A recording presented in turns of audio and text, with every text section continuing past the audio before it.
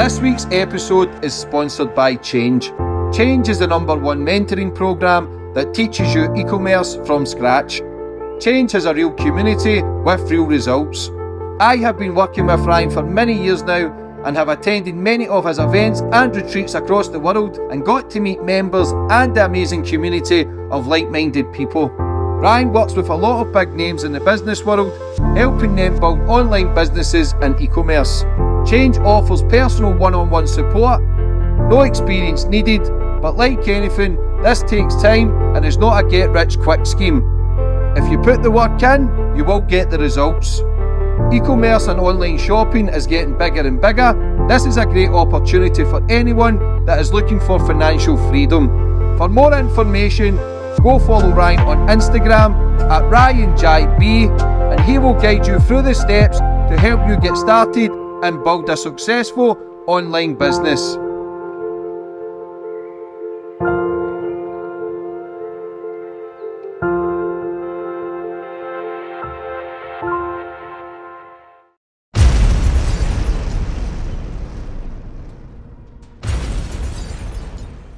You can now follow me on all my social media platforms to find out who my latest guest will be.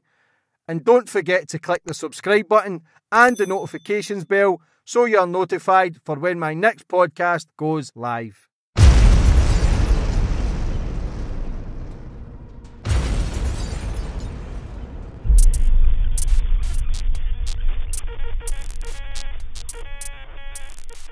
Boom, we're on. And today's guest, we've got Amy Gwynn. How are you, Amy? I'm good, I'm good, thank you. Yeah, I got a message from you a few years ago saying you were going to be on the podcast. Yeah, fanboy, you know you're here. It's uh, good to have you on. Kind of Liverpool female boss. You've done reality shows. You've got your own strip clubs. Um, yeah, which is kind of not odd to see, but you never really see women kind of running that industry. No, no, definitely especially not. in Liverpool as well. Um, but I believe Liverpool was at the first to have a strip club in the It UK. It was, yeah, yeah, yeah. So now you're taking a So a- babe. Yeah. But first and foremost, how are you? I'm good, I'm good, thank you. Just a bit nervous, but um, yeah, I'm good. Why are you nervous? Because it's you. but life is good. it is, yeah, yeah, it's treating me well. Good. Listen, before we get into everything, though, I always like to go back to the start of my guests, get more a bit of understanding about you, Amy, where you grew up and how it all began. Yeah, um, I grew up in Liverpool. And my mum and dad, two younger brothers, pretty normal, um, normal childhood. Um, had my, dad was um, was at work a lot. He was really hard work, and he'd jump from kind of like business to business, just like he was always just like a a man in a van, you know, doing whatever he could to put food on the table. My mum was at home a lot. I was the eldest, uh, two younger brothers. I um, had a really, my dad was really strict with me, which now, you know, looking back, I'm so grateful for because he really kind of like set me up. And I think maybe being the eldest, you kind of like, it's that tough love with, with the 1st and being the only girl as well. Um, so he was, yeah, he was really strict growing up. Um, and I just had a normal, you know, uh, my mum was amazing. She was always there. I went to school. My brothers were both um, my brothers were both really academic. They were quite clever, and I was like kind of like the black sheep. So I just plodded my way through school, but I struggled. I struggled a lot. Um, I, I tried. I wasn't naughty, you know. I was um, I wasn't nerdy, but I was really quiet, and still was really even getting into this industry. So I was really shy to the point where it was almost like a little bit of a social disorder. You know, like if I go with places, I'd get really anxious, and because I was just so so like timid and quiet. Uh, I went through school. I had no confidence. I had to sit at the back of the class and I was just a daydream. I didn't know what I wanted to do, where I was going. But um, I tried, you know, I'd sit there and I'd go through these lessons and everyone would get their head down and they'd start working, James, and I'd just sit there and be like, what, what are we doing? You know, I didn't, um, I just didn't seem to retain what was going on. So it, it suppressed me a little bit that I just thought like, maybe I'm just a bit, like a bit stupid, you know. Um, it wasn't it wasn't until later later life when I had my own children that I realised that I got tested and I realised I was dyslexic um, and had like ADHD as well. So my concentration was just like horrific. You know, I'd just be sat in the room trying to listen to something and I was thinking about something else looking out the window.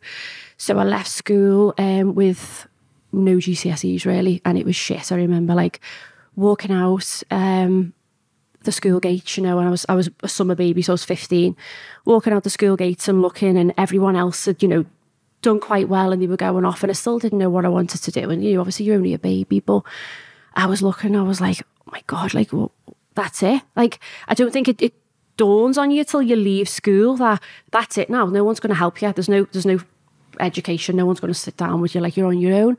And I remember going home and my dad said, Well, you're going to have to get a job, aren't you? Like, I'm not giving you no money. Like, he was, it, he was really tough, but in, in a, you know, in a good way. Like, I was really lucky. I had a, a lovely childhood, but I was like, okay. Um, so I did. I got three and just wiped his eye. And um, I, I just went, I remember looking through like the papers and just looking, looking through different jobs. And I ended up with three jobs. I was working in like the gyro, doing dishes um, in the kitchen. I went to an agency and got that job. And then I got a weekend job in TJ's um, on London Road working. I had like a little department, so I'd work there over weekends. And then I, um, I found a scheme in the local pa- newspaper for um, like an apprenticeship, like a, I think they were called NVQs. So it's like work based learning. So you would be placed in a workplace and go to college like one day a week. So you would learn whilst you were working. And I thought, well, that's probably better for me, like hands on, because in a classroom environment, I just go to shit. I didn't understand at that point that I was dyslexic. I still didn't, um, wasn't sure what it was, why I was the way I was.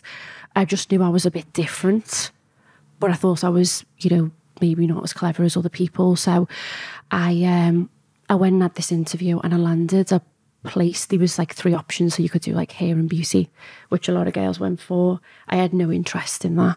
Um, childcare, definitely no interest in that. And the other one was like business administration. So I thought, well, I'll go with that. My mum said to me, well, you know, that's a great foundation to whatever you decide to to go into. If you know, that's never gonna. It's always gonna put you in good stead for whatever it may be. So I was really lucky. I landed a place in um, in Jacobs. So Jacobs is owned by McVitie's, you know, the like the crackers Mm-hmm. and everything. So it was a big company. Yeah, yeah. So it was a big company for me to go and work in. So obviously there was a lot of opportunities to to develop there. So um I went, there was quite a few of us. And it was great that that was that was a time that I really enjoyed. So um, you got to move around departments of the business. So you go to college one day a week, and then the other four days you get like they give you a bus pass, and you go. Well, you were working for pennies, but I didn't care because I was working the weekends in TJ's. Um, and then I was working nights in these kitchens and things. So I was just constantly, I'm like, I just turned 16 at this point and I'm working every single hour, James. And I was like right the way through, but I loved it. I never felt like I missed out on anything. Like I felt like when I was there, I was just like, I was I was doing what I was supposed to do. So I was able to move around this business and go from um, like HR, human resources to buying. And then I, I ended up in the um, accounts, like finance department, and it was manufacturing accounts. So you were looking at the, the actual factory and the, you know, the losses and what it was generating, how much downtime we were having. So I'd get taken into meetings with all like the factory line managers and I'd sit there and write notes and I'd go back to the desk and I had I had a real like feel for the for numbers. I was good. That was the only thing I was good at in school was, was numbers. I like playing with numbers. I was shit when it got to like algebra and things, but when it was just numbers, I was fine. So it was the money side of the finance department that, even though it wasn't my business, it got me excited. And I used to get really competitive with myself and think, right, you know, Biscuits for Cheese has lost this this week. Next week, we're going to improve. And I'd go, right, I have to put this hairnet on and go around the factory.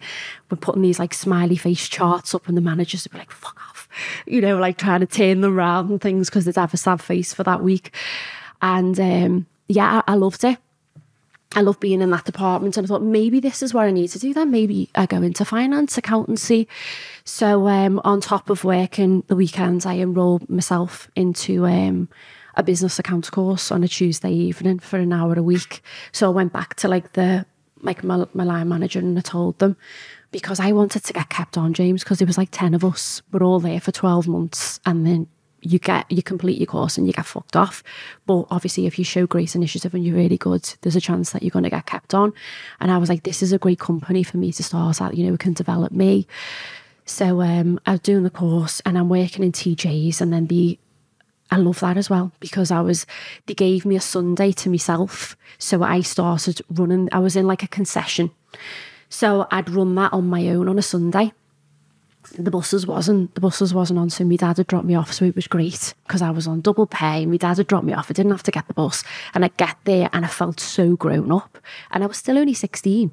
But I was in charge of doing the stock take. And when I say a stock take, I had to count every single item of clothing and like write it. There was no computers or anything, you know, and I'd have to write it all down. I'd have to collect every single tag. But I loved having that responsibility. I felt like, like you know, this is, I used to pretend in my head, like, this is mine, this is my money, this is my stock, like, this is, you know what I mean? It gave me like, like a sense, like a real responsibility that I had something like I was in control of this. So um, I was doing that and I was working at Jacobs and then I did, I got, I got kept on then um, as a trainee accountant. So I'm now 17 and um, I'm working, you know, I've got a contract, I've sat down with the manager and I've got a contract and I'm a trainee accountant in this big company. Um, and they put me on then. I'd completed the, the business studies course, the business account, sorry. So they put me on to AAT. So I was really lucky that they were investing in me. They were developing me and I probably wouldn't have got that, you know, from a smaller smaller company. So the AAT meant that I was going to train, you know, association accountants technicians to become like basically like a bookkeeper because I didn't have a degree. I was never going to get a degree. I wasn't, you know, clever enough to go to university. I didn't want to go to university. I just wanted to work. So um, I'm doing that, and it's all going well for about a year. Um, and I'm I'm working, you know, my other jobs and everything. Everyone around me's going out. You know, we're t- we're 17, we're 10 and 18, and I was just like obsessed. I was always like, just wanted to be ahead. So I was like really competitive with myself. And I am, I'm a competitive person, but it's always with me. So I'll always look back at what I was doing last year and go like, no, that was shit. I want to do this and I want to, you know. Um, and yeah, I was like doing my driving lessons and I was like, I'm going to pass my test. It took me three times because you can see, I can't park. um, so I was like, I'm going to get my car. So I did. So I'm working. I'm still on like the shittest money. I've got no money because I've now got a car. I've got to pay my car insurance every month. But I'm flying. I'm like way ahead of everyone else. So that was that was my thing. You know, I didn't get off on going out and, and partying or whatever. I just wanted. They were the best years of my life. But that was what I wanted to do. That was what I felt like made me made me the happiest. So um, yeah, I was there in this office and doing the accountant's course. And I got into my second year, so it was intermediate, so I still had another year on top of that to go. And I started struggling, like really struggling. It was going a little bit over my head, and I started losing my way a little bit. What was? The the course, the accountant's course. Mm-hmm. Um, I was I was just losing. I was it was it was getting a bit too difficult for me. So this was the thing, was put me in the workplace I could put me in TJs on my own on a Sunday, I would absolutely smash it because I could I could organise, I could prioritise and in work now I'm good at delegating mm-hmm. things. I'm really disciplined. But put me in the classroom and I struggle. Like when I went when I did send me to college one day a week, where I was, I was upstairs and I'd sit by the window. And this is like probably a huge part of the story, but I'd look out the window and there was a strip club over the road so I'd never danced before. I'd never been never been a stripper. I'd, I'd done like child mod like modelling as as you know as a kid, but I'd never done dancing. So I used to look over the road and I'd just be like, wow, like what goes on over there? Like, and I used to just just just daydream and be like, just so like curious as to like what did the girls look like? Like how much money did they earn? Like do they have sex with the customers? Like what you know? So the teacher would be talking and I'd just go to shit. You're getting absolutely nothing else. I mean like it was pointless sending me there.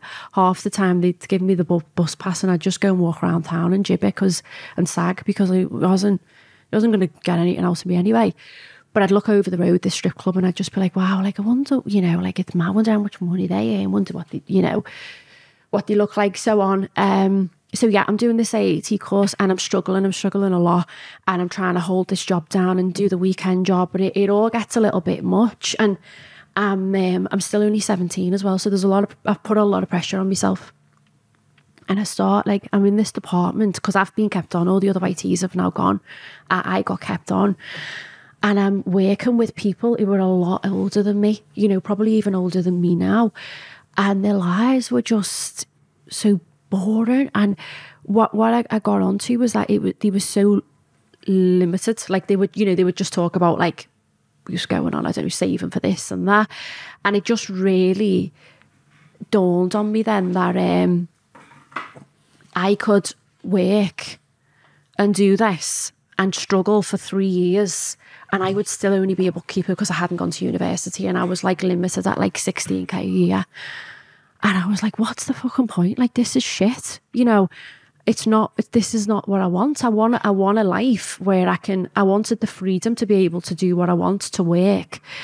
Um, and I realized that I wasn't going to, I wasn't really going to get that. I was working really hard. And at the end of it, there was no, do you know what I mean? There, was no huge reward. It was just that that was going to be me.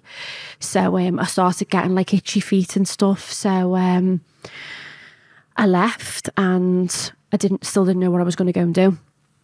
So I went to work for my dad for a little bit. So I was helping him and I was in the office and um, he was working with like insurance companies at the time and he had the vans going out. So I was watching, I was around my dad had always been like a man in a van. He was always like he had my uncles working for him. There was always men around the house working, and so I grew up as like kind of like one of the lads. And my dad had raised me in a van, you know, going out, and he'd take me to these jobs, and he'd be like, "Listen, girl, we're going to get this out of this, and you've got to get that room, and that room's flooded, so tell them the next room's flooded, and that's what." And it was all about like maximizing, you know, everything that yeah. you could. So I was there, and um, I went out one night I went to a place called the News Bar and um, it just opened my eyes a little bit to like this glamorous life that I kind of been missing out on. I thought maybe I should like go back into modelling. You know, maybe that's what, what I should do because I just didn't know what I wanted to do. So I did. Um, I went and got a portfolio done. Now, back then, it wasn't as easy as what it is now. So there was no Instagram. You know, there was no like paid posts. There was no um, Instagram models. There was no airbrushing and filters and all those kind of things. It was dead raw. Like you, li- you literally had to go and find a photographer, go and get your photographs taken, and go go and turn up to an agency and hand them, you know, hand them in, didn't you? So um, I done that, and I went, and luckily enough, I got taken on. Um, started doing bits of modelling and PR work and things. So that was great because the money was a lot better. So I was working and um, I left TJ's at that point and started focusing on on the modelling and I enjoyed it. It was fun and it was nice. It was nice to feel to feel nice. And um, anyway, I started getting booked for these jobs. And then this photographer started booking me for jobs because I drove and some of the other girls didn't drive. He started booking me for these jobs in Manchester. And what it was was it was um, like photographers who were training. They would go to him to train to, in photography. So I would be the model on that shoot. So he'd set up like these workshops and I'd drive down and, you know, obviously get paid and just stand around and people would take photographs and then I'd drive back home. So I was doing that. I had absolutely no life, but I was still, I was stacking money and that's what I wanted to do. And I thought that was what was going to bring me happiness. So I'm doing that and that's going on for a few months. And then it was just one night, James, I was driving home and I just had like this, this idea just popped into my head and I thought, what if I done the same? But the other way around. So what if I done the workshops but for the girls and got girls who because I had because it, it was MySpace at the time, do you remember MySpace? Yeah, yeah, yeah. So uh, I'd have girls I'd have girls message me saying like how did you how did you get it? Because no one wants to go and find out the answers. They want they want to go and ask someone, you know, I'd done it the hard way. Um so they were like, how, how did you get into modeling? How did you get your portfolio? Who did you go to? What? And I was like, I'm giving all this fucking advice away for free. Like, I, I could set these workshops up in Liverpool and book these girls and put a package together. So I had a lot of contacts with photographers, with studios through, you know, doing it myself. So I did. I um I got in touch with one of the photographers that I was working with, like an amateur photographer, who I knew I could get, you know, at a good price. I secured a um a studio and um I started, I made a page and I called it Model Days and I went and got like flyers made and started pushing it. So um, I went into town with these flyers and spent about two days in town, handing them all out. Hundreds of girls. And I went home and I was like, looking at my phone, I was like, that's it. Like, everyone will ring now and I'll book them all in. And no one rang. And I remember because like that's what you had to do. There was no Instagram then. Do you know what I mean? You had to go and literally hand flyers out and go and speak to people, didn't you? Um, but I carried on with it and I was promoting it and and um, I ended up getting done the first workshop and I got about six girls and it was great. And um, I started doing them monthly then and they become really popular and I get a lot of girls coming in and some of them didn't necessarily want to be models. They just wanted to come and get some nice pictures, you know, or some portfolio shots or just come and have a, a nice day. So um, I started doing that. So I'd work through the week and then I'd spend, say, like a month promoting the next one and getting things booked in. And I remember doing my first one and coming home, I told my dad, you know, what my idea was. So I was taking something that I was interested in, which was modelling, something that I enjoyed. But rather than being behind the camera and being told what to do, I was taking charge of it and I was in control of it and I was calling the shots. And that's what excited me. So um, I remember coming home after the first one, sorry, and um, I had like 600 quid. And I'm like, 18, 19 at the time. And I come home to my dad and I was like, and I put it on the table and he was like, fucking hell, is right, girl. And I was like, he was like smashing it. And I, I, like, I was buzzing. I was so proud of myself. And I carried on. And like, I wasn't spending this money because I wasn't going out. You know, I had my car and that was it. And I was like, just stacking money in like, I'd like, it was in my underwear drawer, just like wads of money by the time I was like 18, 19. I remember thinking like, seeing these girls who'd done well at school you know, who, who were great, who were flying while I was sat at the back of the class, just like staring out the window. And, and they wasn't doing so great. And they were messaging me like, he's right, you're smashing it. And I was thinking, why, how is this not obvious? How am I smashing it? But yeah, I, I was the fucking the stupid one. Like these are all dead clever, you know. And it was because I didn't understand then my mind that I was just completely fearless. But your dad would have helped with that. Seeing Definitely, way he works. yeah, so yeah. You'll probably have a lot of your dad's traits. Yeah. By spending time with him, the entrepreneurship, no matter what it is you're doing, no matter if it's washing windows or selling watches, it's still you've got to have something about you to make those sales and go out and make those money. It's like a local Del Boy, in it. You're just out hustling. Yeah, and you course. can do it at different scales from the bottom to the top. But you've obviously picked up those traits of want to make money, how to make money, and how to be a business. Yeah, woman. yeah. Um, no, definitely. Like as I say, he, he was hard on me. He was strict, but it, why you was, though? Um, I think because like I was the I was the only. He did treat well. My, my younger brother was gay, so me. uh, I think it was because I was firstborn and I was his only daughter. Uh-huh. Um, but yeah, he, he passed everything on to me, and he did. He raised me like a man, you know, to be really strong. And his own sisters are ruthless, like the skinny women, you know. So I think he was just like, because he come from, he was one of nine, you know. He was like his mum and dad were both out working all the time. They raised themselves, so he was like, listen, I come from fucking this, you know so he was quite hard in that way. But even to this day, I think I always wanted to impress him. So even now, I'll be like, Dad, I've done this, and he's he's you know he's like, oh, that's great, Dad, and he is really proud, and he'll have a little brag and stuff. But he's still like, yeah, but you know, it's always, and that's great to get more. Yeah, yeah, and I'm I've I'm like that. And I don't know if that's a good thing or a bad thing, but I've never, never ever yeah never satisfied. And it's not that I'm not money driven anymore. It's just that I always want to do more and do better, and I've never stopped and gone, wow, because I think you don't see it yourself. You know, yeah. when you're like I, I you know I was speaking to you and I'm saying like, but you're James English, and you're just like yeah, but because you don't see that progression that you make yourself. You know, yeah. um. So yeah, so doing these these these model shoots and everything can I'm smashing in, it's going great, making money. Um, and then I, I, I was, I had my boyfriend at the time. Um, I was still together now, like 18 years on. Um, he was a DJ around town.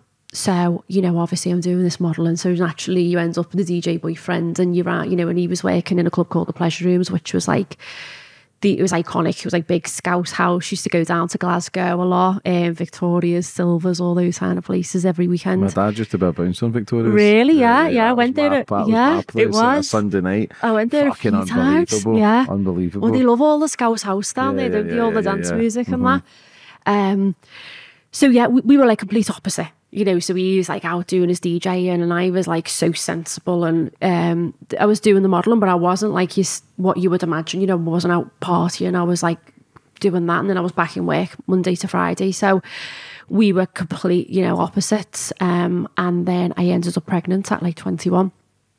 So he's working, I have this baby and um, I leave work I'm in the house. We, my mum and dad moved, so we, I moved as well to follow my mum and dad. So I've moved now from one side of Liverpool that I grew up on to the the other side. I'm still there now, but I knew no one.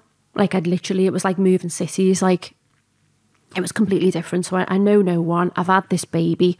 I'm now isolated. I've gone from just working, you know, Carl's out working nights. My mum and dad are both in work, and I'm at home with this baby. I don't know the top from the bottom. Like I was petrified. She just used she'd cry, I'd cry. I was like, "What the fuck am I doing?" Like it wasn't planned. My life was not meant to be like that. So my confidence just nosedived because I was no longer in control of my life. So um, I'm off work. I'm depressed as fuck because I'm not meant to be off work. You know, I'm meant to be out grafting. That's what I do. That's who I am. Um, so I just kind of thought, like, oh, well, I'll have to. I don't know. She'll have to go to nursery, and I'll have to go back to accounts and go back to my old life because I'm a mum now. That's what you do, you know. And I think back now, and I think, oh, freaking hell, Amy, of course, you could have gone back to doing what you were doing. I think I just, you know, lost my head a bit. I was Yeah, scared. it's a shell shock, innit? Yeah, yeah. Still a kid yourself. Well, I was, yeah. And um, so my mum was amazing, but she was still working. So she was trying to help me. Um, I remember like going to a baby class and I, my mum had to come with me because I'd gone back, James, to having no confidence again. I couldn't like speak. And because I'd go in these baby classes and I felt like everyone knew what they were doing. They it was they were married, it was planned, and I'm just like, oh, I got with a DJ and got pregnant and this got this baby and so you know don't know what I'm doing. So my mum, my mum came with me and I'd just sit there. I was just yeah, I was just so had no confidence whatsoever. Was sat in this house all day like by myself with this baby, just yeah. And um, Carl come home one day, so obviously he's working, he's still working in the club scene, and um, he was like, oh, speaking to me mate, and um, if you open a strip club, so we we were renting, we were living in a one bedroom flat. Um, I was on maternity leave, and his kind of career was nosediving a little bit because the culture of music changed around that time, around 2009. So it went from Scouse House to like funky house and things. So everyone was going to different kind of clubs, and it was really weird because everyone went from like the 05, the pleasure rooms, to like society, which weirdly enough is where Rude is housed now. In this, that that's that, that's its home. Um, so yeah, he, he he wasn't earning the money he was earning, and all of a sudden we'd gone from like he was earning great money, I was doing well. We had all this freedom till we had nothing. We're in this one bedroom flat. My mum and dad were trying to help us as much as they could, but obviously we had our pride as well. Um, I was walking around with Dolly in like a a what is it like a car a car seat that I'd been given off my uncle, and it was blue because he had a son, so everyone thought she was a boy because I couldn't afford to buy a, a one that you know like a grey one or a pink or whatever. Um, and she used to sleep in this car seat and sleep at the bottom of the bed because she didn't have a cot, and we, we we just had nothing. Um, I'd go around like the supermarket, and my mum would give me some money, and that I remember like walking around with like fifty pound, like get baby milk and nappies, and whatever was left was left for the week. You know, we just we just kind of it just like a full circle turned round. You know, so um, we we managed to save this bit of money that was gonna go towards like get a mortgage because again it was just like I was brought up that you get a job, you get a car, you get married, you, that that you know that's what you do. So you get a mortgage, you get married, and it's not till you get older that you realise that like it's all bullshit. Like you don't have to do any of those things, you know. But I, I that's what I thought. Like I have to do this, this, this, and tick all those boxes. So we're like, well, we've got the baby, we've got to get a mortgage. So we had this little bit of money but no no income coming in. So um anyway, he come in one day and he started talking about strip clubs and he was like, You can earn a lot of money off them because you've got different ways of, of earning revenue. So, you know, you, you you've got your your bar, you can charge on the door because you're offering naked women and you've got these, you know, girls that you you take like a commission or a fee off them. And I don't even remember the conversation, James. I don't know if I was just that low, that tired, whatever. But next thing you know, we're working. So he was working in the pleasure rooms. So the, the pleasure rooms was closing. So we had the bottom floor of this club. It was tiny. Um, and he was like, we can move it into there. We didn't need to pay a lease for like 12 months. So we could literally kind of move in for free because we had no money. We just had to do it up. So next thing we're doing this club. So it was one of them like say yes and just fucking work it out later, you know? So um I was like, yeah, I'll just I'll just do that for I don't know what I thought. Like I'll just do it for a little bit and then I'll go back to like normal life. I don't know. I was there for the money, nothing else. You know, I'm not. I didn't. I'm no hero. I, I, did just go into it for to earn money. So um, I remember thinking, well, I I've got all these contacts within the modelling, you know, industry, and I, I know some girls who are dancers. I'll I'll put a like message out on Facebook. I'll do whatever. I'll find the girls. So I did. I started speaking, and I found five girls. So um, we're doing this club. We haven't got a fucking pot to piss in. Um, it was awful. It was dreadful. Like I remember thinking, like, do you remember Ed Hardy years ago? Mm. I was like, I think I think it was black to be honest, but I found this like Ed Hardy wallpaper somewhere, and I was like, oh, that's that cool. Like, I'll do the whole club in Ed Hardy. Like, it was shocking, absolutely shocking. And um, I found these five girls anyway, and I remember going down to audition them. Now, I, at this point, I've never been a dancer. I've never been in a strip club. So I don't know what I'm doing. I don't know what I'm looking for. So I'm sat there and I said to them, like, oh, uh, do you want to do a dance? I took my friend with me because I was so nervous. Um, and these girls come and they start dancing. I remember like shitting myself. This one girl, she actually went on to be like a porn star. She starts dancing. I still remember the song. It was Jason Derulo in my head. And every time it comes on, like it just gives me flashbacks starts dancing, she takes a bra off, and then she whips her knickers off. And I was like, whoa, it's okay, it's okay. You know, I just, I think it was so mad. I just didn't know what I was getting into, but I was just like, oh, whatever, you know. Um, so anyway, I took all these five girls on because who was I not to? Like, I didn't fucking, I didn't know what I was doing, do you know what I mean? So I took them all on and um, we, we opened, we opened the club and it was dreadful. I remember um, I, I had a bar and then it was almost like just like because it was so small, I had like this seating here and then these booths, and I got this curtain woman to come in. And in my head, I was like, so men will come in and they'll see the girl, and the girl will go up, and then they'll get a drink, and then they get a dance, so they'll go over there. So I was like, put a curtain across the club. Just like right across the club. So you've got this tiny room that's now halved in size because I put a curtain across it.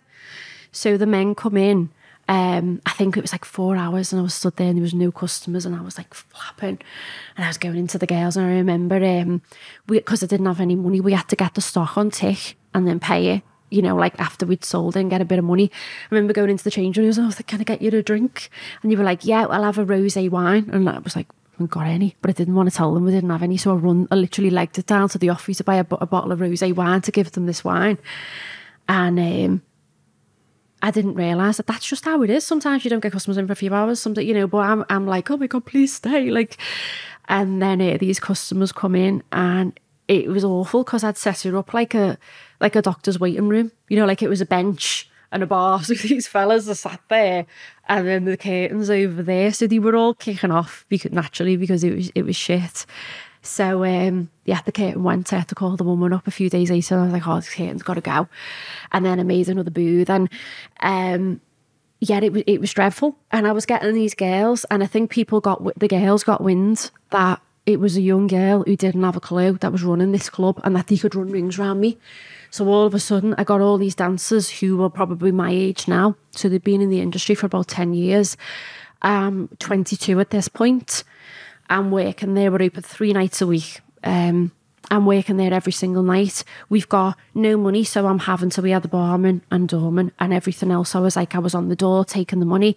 I'm running the girls. I'm booking the shifts in. I'm cleaning. So I had to do learn every aspect of my business, which I think now is great. Do you know what I mean? Because there's no job that I ask anyone else to do that I haven't done, that I don't fully understand. So I had to learn everything.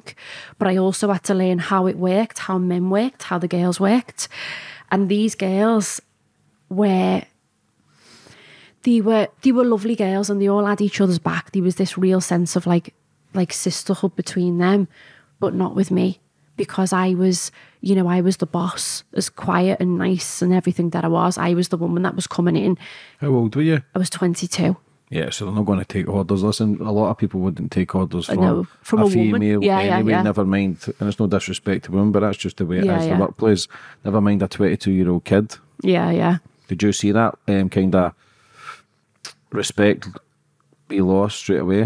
One hundred percent. Um, there was no there was no respect for me at all because the way they looked at it is you're not a dancer. this is, and they were very precious over their industry. And now I completely understand why.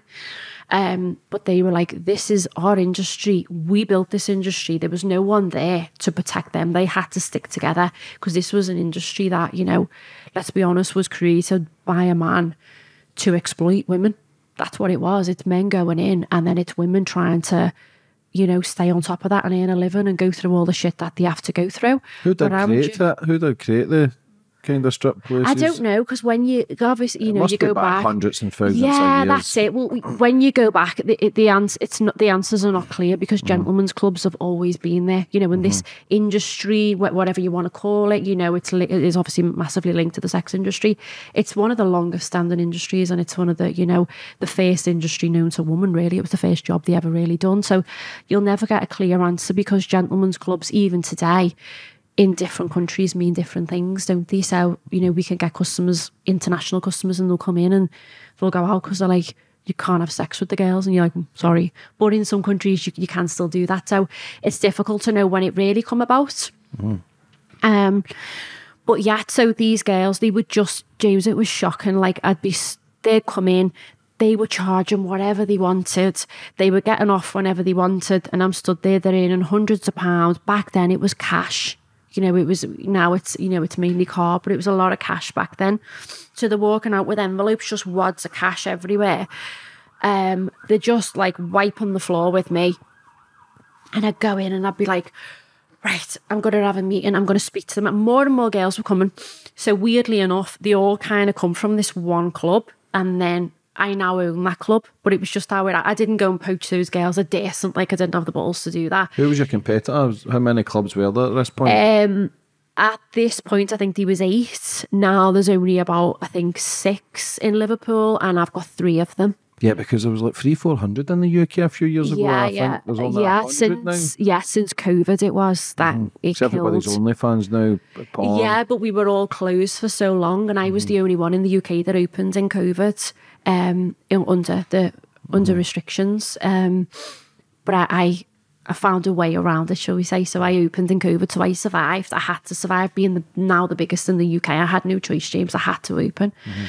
So um yeah, I was like working with these girls and they, they just ruled me because they were so hardened. As I say, I was petrified because they'd just tell me straight and they'd be like, I'm not working that. And like, I'd be sat there doing the door and they'd be getting off and they'd earn like 500 quid. And I'm like, oh, can I have 40 pounds, please? You know? And then reality kicked in that actually I've got to pay the rent on this place and soon I've got to pay for this lease and that stock's got to be. And I was learning fast that it come with so many bills.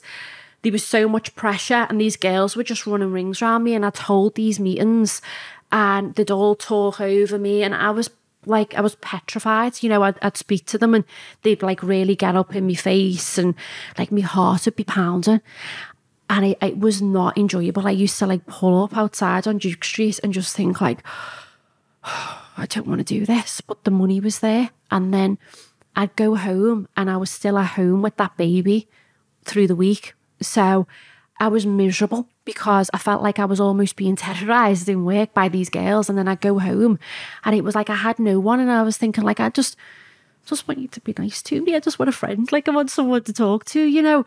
And I go home with Dolly and just, you know, I'd drop her off. I, I I'd go to baby groups and I ended up again like isolating myself because I'd be so tired. I'm working nights, I'm getting up, taking it to these places, and then people would be like, What you do?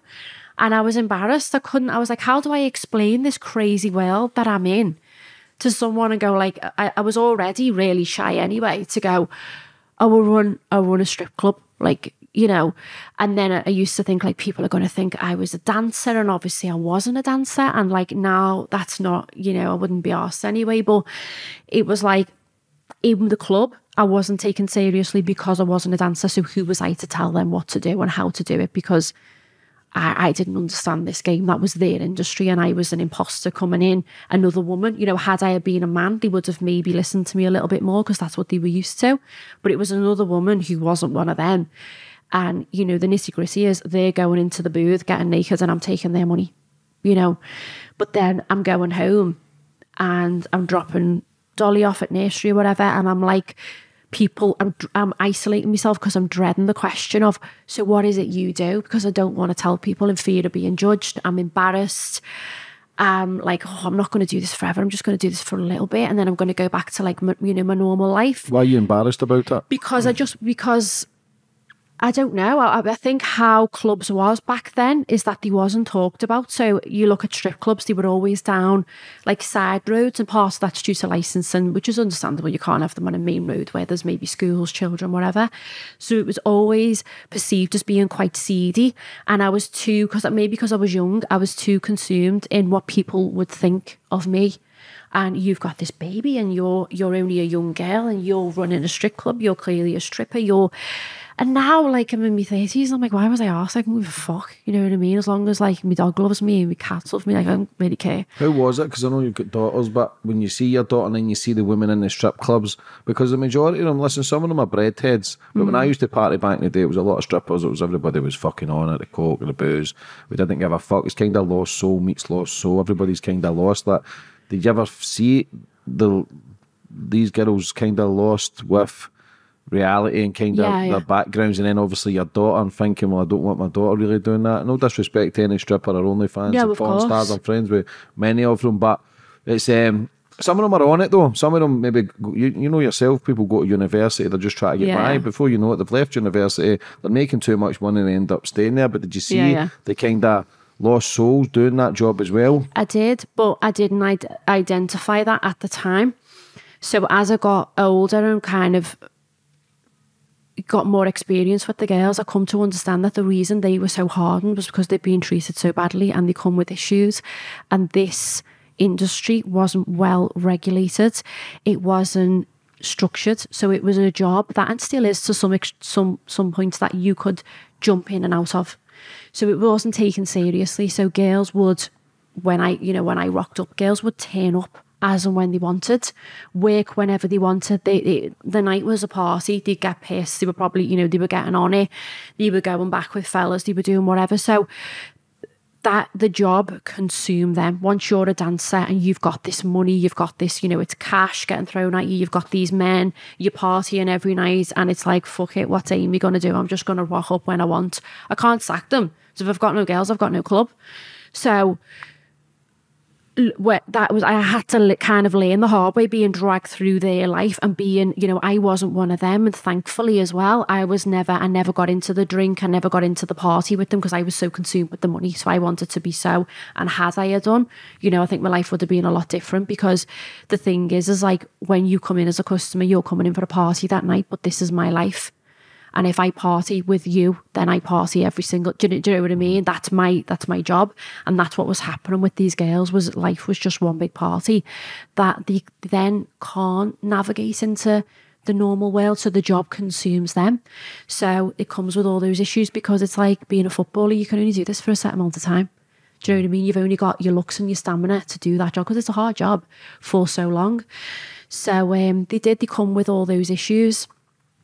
I um Did you get any grief from obviously listen, it's that industry as well it can be ruthless from any other clubs or any other men? Did anybody ever show up and try and show a bit of muscle to tell you to fuck off? no, no, I got so people done it the sly way. But again, do you know what? I'm grateful for it because now like I'm untouchable, but people done it the sly way. So they would other clubs would come in um to check the club out. They, I got grassed up, like the girls are working on the side, like the ale is like watered down, she's not paying, you know, like it was like off the back of a lorry, um, all that, you know, shit. So I'd have um I'd had the police coming in all the time because I was brand new.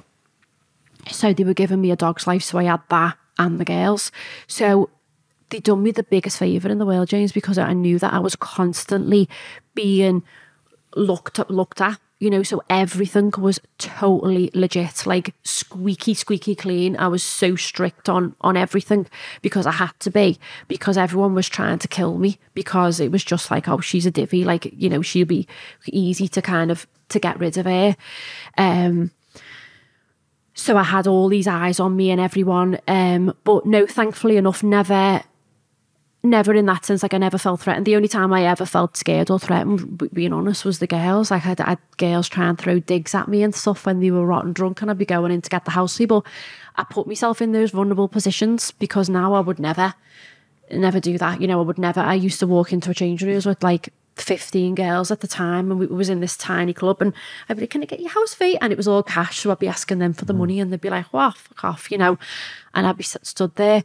It was horrible. So like I'd go home and I, I'd quit about five times. Like I was, I was like so just like unhappy, you know what I mean? But then on the other hand, I was earning so much money that I would never be able to earn. And I was, I was like thinking to myself, if I could earn this much, I could do this. And I was like bypassing all of that because I had no real competition. The industry was so, it was just so flat because it was run by men who were, I don't know, comfortable. Like these clubs have been going for years and years. They did not been decorated since the 80s. Like they were shitholes because at the end of the day, they've got naked women. So if you're going to sell pussy, like he no one's asked about the interior. So that's a man's perspective. No disrespect to men, but that was a man's yeah. perspective on it.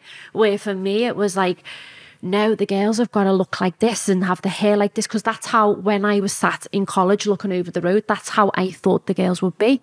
I thought they're going to be like, you know, tiny waist, big boobs, and they were going to be absolutely stunning and making loads of money. So I was like, no, like, you need to be the, they need to be the best version of themselves. So I was going in, and despite going home and having a little cry, you know, behind closed doors, because no one give a fuck. So, um, I go back and still, and I, I was developing myself so unknowingly developing myself so much like now for instance it'd be it'd be little things like power struggles. So these girls would would stand there and bear in mind they've got their big shoes on and I'm not the tallest girl in the world so they'd be towering over me and I'd be taking the money and I'd be doing this and like your shifts for next week. And I would feel myself like off shaking and think like fucking just sort it out Amy because it's like a power struggle. If you show that you're intimidated they're going to run rings round you whereas now I'm so ruthless and so calm and I'm so composed. Dominant. Yeah, but I've never ever to this day the girls have never heard me shout even when I'm annoyed with them I'll go in and speak because I feel like that's a sign of weakness and I, I learned all this you know myself and if a girl there's ever an issue say for instance I have to go and pull a girl if she comes to me I'll be like can you just step back here a little bit in my, my space you know and it's having those boundaries now to demand that respect. I respect you. I come with good intentions. You know, you do the same back, and we've got a, a good relationship. But as I say, I learned it all through the girls. So How much was it for a dance back then? back that back then, it was Tenner, 20 quid? no. It's uh, so I created the twenty pound dance in Liverpool. Mm-hmm. So I think it was twenty pound in London at the time. When I come into it, it was a fiver. What was that? It was five pounds a dance. And this is what I say to the girls when they're charging forty. I get them in the change rooms, and I'm like, listen. I fucking made this. You know, I pushed this up for you. Don't take the piss. Yeah, it was a fiver and ten. So how did it work with them coming in and charging? What percentage do you take? How does it work? So obviously back then, you know, it was all over the place because I didn't have a clue what I was doing. Now, um, a lot of clubs, um, so like, there's, sorry, there was a five pound topless which I banished, and there was ten pound nude. So I created twenty pound nude, and I was like, listen, just sell it how you want. You know, it's twenty pound nude. It's double the money. Like just whatever. It's four minutes, bit minute longer. Just. Um, so I was always looking to push the bar um, so a lot of clubs work on like a dollar system. So you would have to go to the bar, buy dollars, go and hand it to the girl. Now to me, there's a thought process, and I think the more difficult, the, the more you, the more difficult you make something, the more, the less likely you are to do it because you've got to then think. You know what I mean? Rather than have that girl in front of you, you go, oh, on one sec, I'm just going to go to the bar and buy those dollars, and then I'm going to come back. It's like you're not going to do it. So I'm quite old school. So Rude's still a cash club, despite the card. You know, I, I work hard to get around that and make sure that the girls can get cash. And um, I work on a set fee, so it's pretty old school. Most clubs work on a commission basis, which means that they will take a percentage of your earnings. Now, for me personally, I believe that that um, that that kind of like what's the word? You're it, it's like you're almost punished for being a hyena. Now, if you're a hyena, it's because you've invested the most in yourself. You, you know, you're great on stage. You're great with customers. You're good looking. You, you know, you you're full of character. You're confident. So. If you're going to be a hyena, and they- they're the girls that I want in the club, so I'm not going to go and take a big, massive commission off you when the same girl who's putting no effort in and is sat there, you know, in the corner, adding no value to the floor, whatsoever. There's nothing about her. She's safe because she's going to pay a commission just like you. So I have a set fee. So it's like I say to the girls, think of it as like, you know, you're working on a taxi. You can drive around and earn loads of money or you can park up on the rank, but you're still going to pay the same fee at the end of the day. Do you know what I mean? Does that get them to work harder then? Yeah, it does, but it also enables me to keep the best girls because they're not being penalised for earning well. So uh, the way I've set things up now, moving to um, So it's a level playing field with everyone. Yeah, So if yeah. somebody gets one dance or somebody gets a hundred dances, they're still paying the same. Yeah, yeah, they are. Now, obviously, I have a program for um for new girls. So because Rude's, that's why I have other clubs now as well. Rude's a, is a is a daunting club for girls to start at because it's a you know it's a bit it's now the biggest in the UK. The whole club is centered around the stage, and I wanted to do that because coming from basically like a tiny little living room with with a curtain. I want, you know, I had all these ideas, and back then I had um had like footballers coming in and wanting to spend money, but they needed that privacy, and I couldn't offer it because I was just at this little, you know, tiny room. So we ended up setting upstairs up. So we had like this little tiny VIP floor upstairs, and I sat down, and this was something that had never been done at the time. So I'm going back, you know, 14 years in. I'm like, six months in at this time, so over 13 years ago, when I went into it, you just earned money off dancers. It was like you you went to strip club, you bought your ale, and you know in some in some cases the girls would be on commission for the drinks and things, but you don't know that. You know what I mean? So they're like, oh, let's have a drink, whatever. Then you've got your dancers. So as these like bits of like like reserve players were coming in, they wanted to spend money. I was like, how how do I do this? How do I, how can I capitalize on this?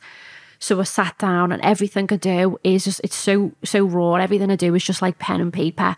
Even now, like my idea of like putting something on the system was writing it down, taking a photograph on my phone. You know, I have everyone up the wall. Uh, I sat down and I was like, right, book a girl for half an hour, book a girl for an hour.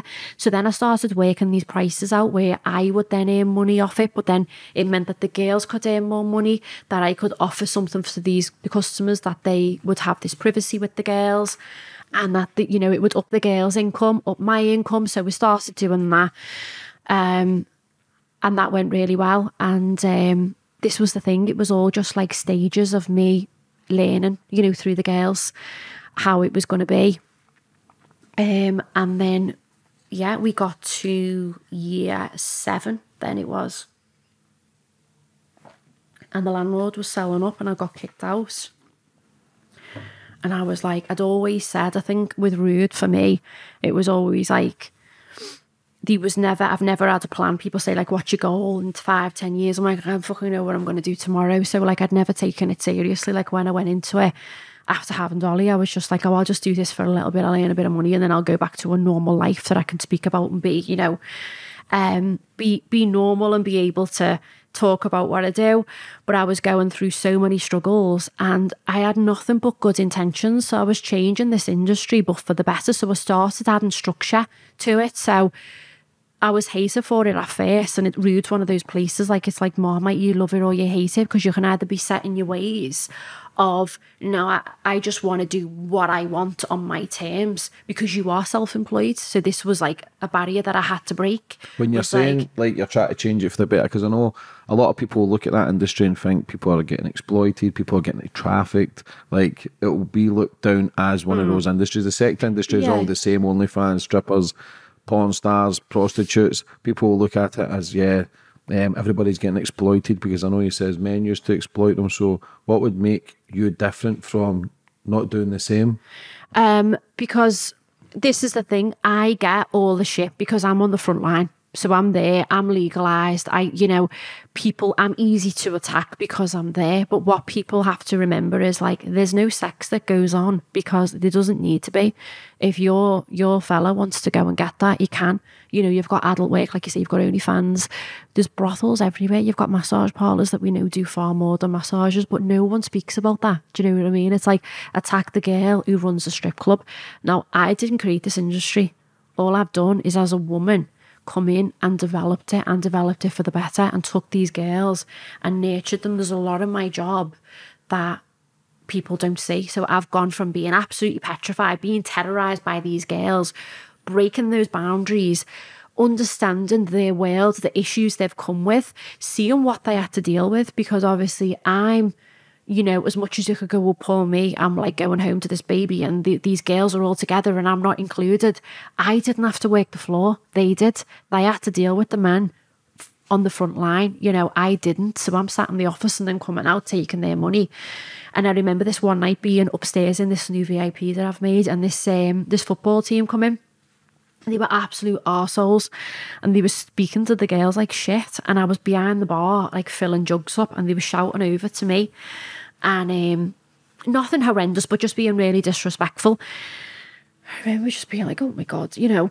And um, just I looked over at the girls, and I think it was the first time I'd been with them in that situation where I was getting it as well. And I seen they were like, they were, they had my back, which was the first time I felt part of them. You know, they were like, no, no, no, don't speak to her like that. Like she, she's the boss. Like leave her alone. You know, because I was like, um, so I remember at the end of the night, like going into the change rooms, I was like, oh my God, like they were arseholes. And they were just like, oh yeah, babe, it's fine. Like, don't worry about it. And I was like, do you get that all the time? And they were like, yeah, that's just how it is. And I remember going home that night and thinking like, wow, like it's fucking, it, it's shit. You know, wonder these women are so hardened because a lot of men, even to this day now, but the girls are so trained because I, I vet them, that men still come into strip clubs now as it's especially when you come into Rude, it's an opportunity to see a girl who's like a 10 out of 10 who would never give you, you know, never give you the time of day in real life. And it's like some men get a kick out of speaking to them like shit. It's like a power thing, you know, like a small man thing that they'd be like, oh, fuck off, you slag or whatever. And I, we say to the girls, like, you will be treated how you tolerate being treated. Do you know what I mean? So, um say that you still you still you know you get some men who are amazing but you still get those arseholes as well and it's just like you learn to deal with them but um yeah I remember going home like that night and lying in bed thinking like wow fucking hell like you know it, that's just that's horrible. So it helped me then to kind of understand them and what they faced. And I put more, so I put structure in. So they had to work set amount of nights. They had to be in on time.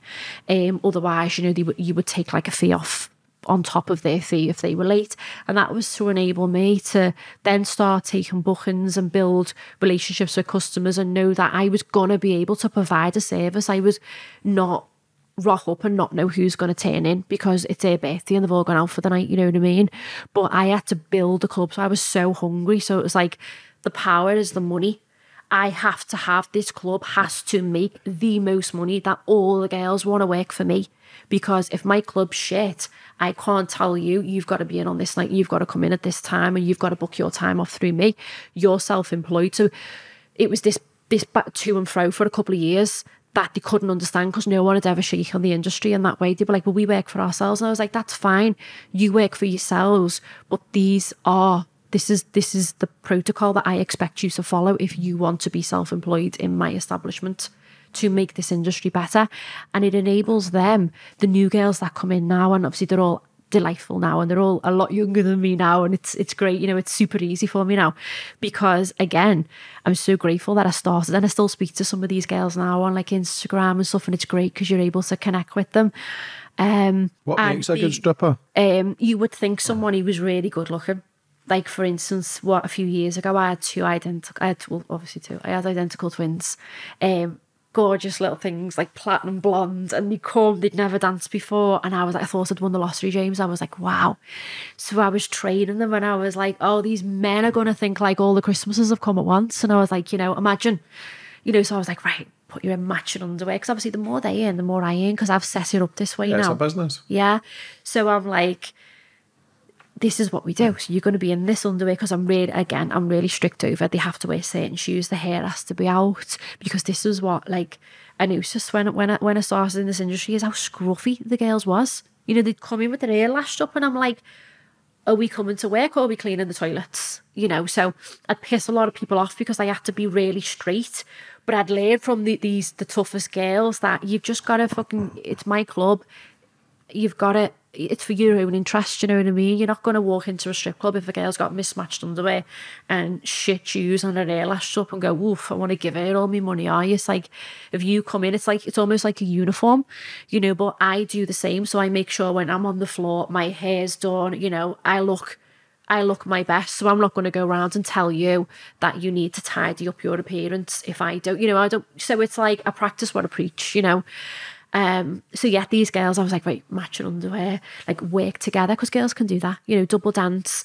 And I'm like, I'm acting out scenes in the changing rooms. I'm like, the guys at the bar, you come one side, you come the other side. Like, oh my god, you're gonna smash it. Didn't get it. They, they did not get it. They ended up going online, and that's the thing. A lot of girls can do really well online, but not so much in a strip club, and you know the other way around. So um, I'd get on the floor and one would be sat over there and the other one would be, I'd be like, where's your sister? And she's like, oh, she's doing a dance. I'd be like, why aren't you with her? Like, what, what are you doing? And I'd get a sister and I'm like, girls just need to work together. Like, you've got something so unique. You can earn so much money, but some girls just, just don't get it. And even to this day, it's like I don't invest too much time on auditions anymore because the likelihood of girls even turning up, and it, you know, I get it, it's a daunting thing. Um, so we get a lot of girls apply.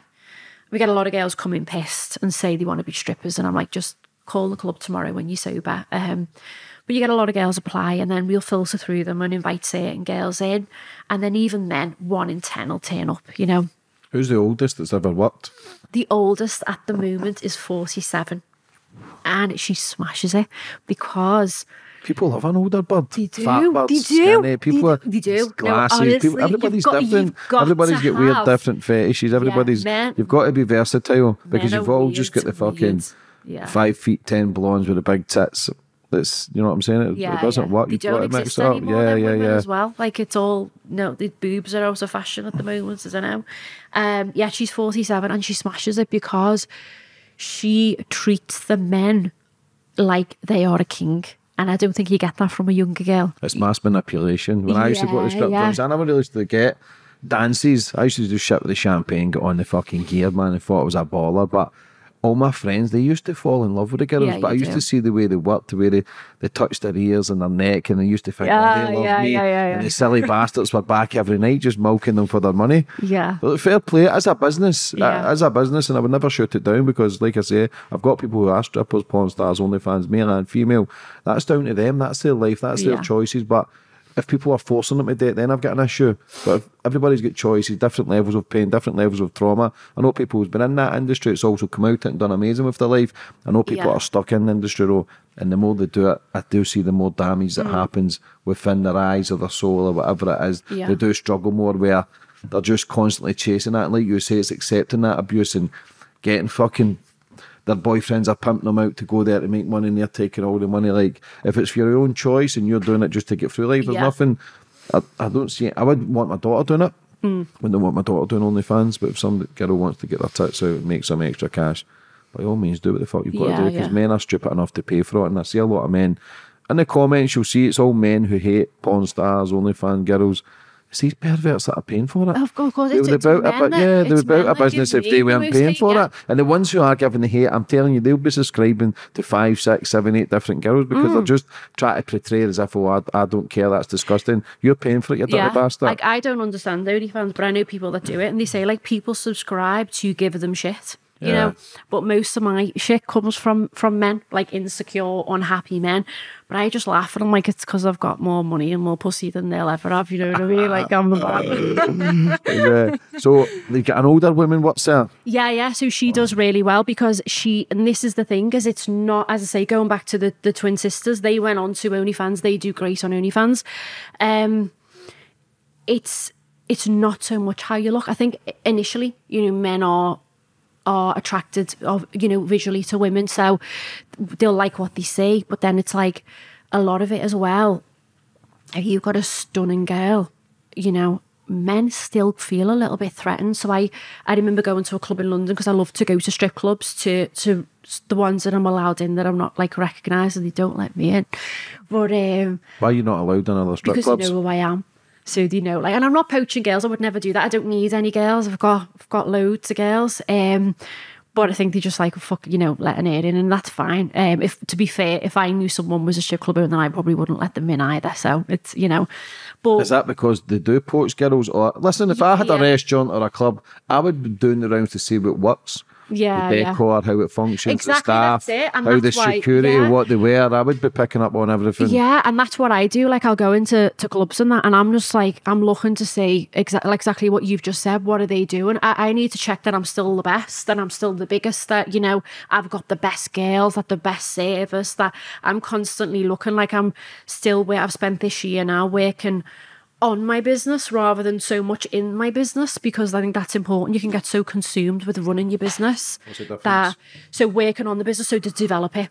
So now um, going through so many struggles, like mentally and being consumed by this industry and going through COVID and losing everything and coming back because I almost feel like Rude's gone through two phases and moving from a small building to now the biggest in the UK. It was like I've gone through a lot that I was like, no, actually, I need to now you know, times at times are pretty shit at the moment. Everyone's struggling. So it's like I need to level up again. I'm always looking for what can I do more. So now it's about concentrating on me and developing me as a person and developing my business. So adding, you know, experiences and making things more uh, more memorable and immersive. So now you walk in and there's like um, I have videos playing all over the club, so it's like girls doing strip teasers, getting naked, so that you've got when you walk in, Rude's like because I want to take always take it to the next level and be different. So it's centered around the stage. So when you walk in, there's like fire shows going on. There's girls. So I opened um,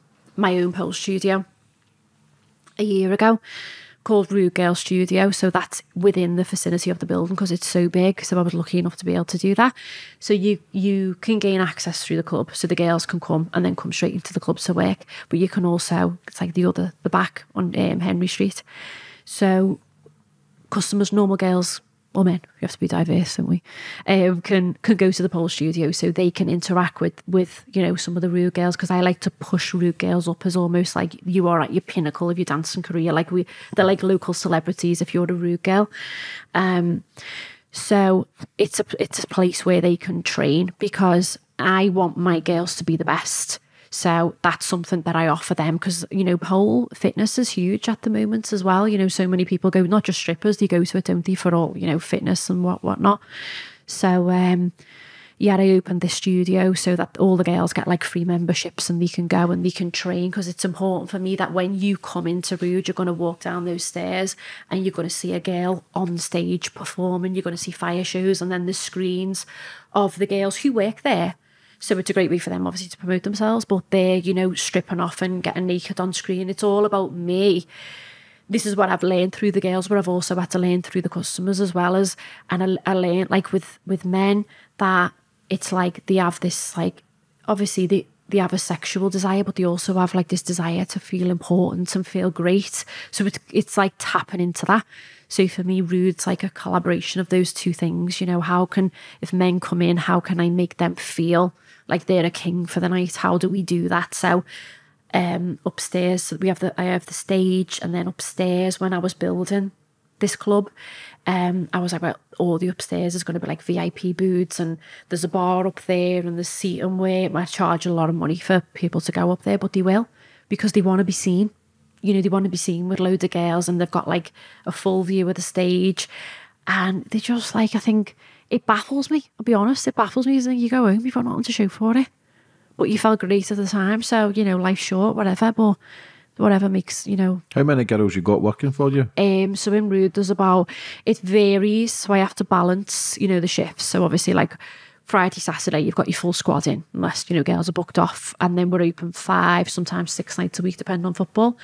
So um, then those girls, I will like kind of balance them out. So they, they don't have to work five nights, but there's enough girls to cover the floor that it's not so busy. You don't want to flood the floor and the girls don't earn money, but um, having enough girls that if, when the customers come in, that you know the the customers are happy. There's enough girls. It's a big club. There's enough girls to work the floor. So on average, it's about forty. So this was why it was important for me that I needed to add that structure in to an you know otherwise Rude would not have been able to sustain itself. It would not be the biggest in the UK. It would not be the best. It would not have the best girls had I not put all this stuff you know in place. What makes Yeah. it the biggest in the UK? Um, so it's the biggest in terms of size, and I've been the first to do everything. So the biggest turning point with Rude was when I moved. So I got kicked out by the landlord. I had no home for the club.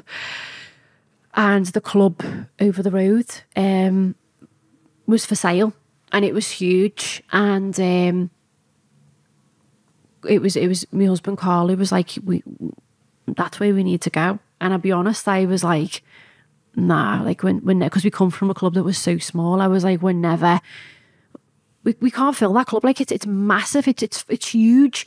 And we went in and I've got pictures and it was just like the, the previous tenants had ripped everything out. And anyway, we did it and it was like, you know, oh my god, it was way over like a million pounds, like ridiculous amounts of money. And I remember going and like trying to get these loans and get this mortgage and stuff. And I was still only really young and uh, to the point where at this point I, I didn't give a fuck. You know, um, everyone knew what I was doing. I was act- I was dead proud of what I was doing. It, it shaped me as a person. I was thinking, I do so fucking much for these girls. Like, uh, what you know, I was like, I'm just this is it, this is me. I'm just going to go all in. And I remember because it was such a big purchase, getting sent like by the solicitor to like a financial advisor, and he sat me down, and I had. I, th- think it was my youngest daughter. I always seem to just have a baby, just pounce around. um, and I, and I sat down, and he was like, "Do do you understand like what you're about to do? Like you're about to take on this this club, like you're signing here like a million pound deal for this and that. And I was just like, yeah. Because at that point I was just like, what's the worst that can happen? Like it would die. Like, you know, so what? Um so I did, went in and again, like I wasn't at this point, I wasn't a millionaire. I'd come from a small club, so my earnings were I had so many ideas, so much stuff I wanted to do, but I was so limited because I had this tiny club. So um this was now like this was so I'm going back now. This was 2016. So this was like this was like the re- this was rude. This was like everything. I had seven years experience. There was no excuses now. Everything I wanted to do, I was able to do. There was no holding back. Like it was fucking. It was real. Um, but I had a certain amount of money. So I had to do it as I want. So I had all these ideas, like this, the chain, the toilet, sorry, in this club at the time was huge. And I remember I spent my 18th birthday in there, and all the all the girls from Liverpool would all be in there. It was like it must have been about 30 toilets, so everyone would spend the night in there. So like those toilets are iconic. They're iconic in Liverpool, and that's like a real Liverpool culture. Is that you know girls a little bit like the Scottish girls? They're the same when they come to Rude. They're all in their snorting gear. That's why the toilets are so fucking busy. all love me? Yeah. That's it. They're in there snorting their panning. But I was like, those toilets need to be the girls' changing rooms. I want to make this huge complex, but obviously I needed the bar, I needed the pole, I needed all the important stuff. So it, again, it was a process. So it was almost like, which I think is really important. I was starting from brand new again.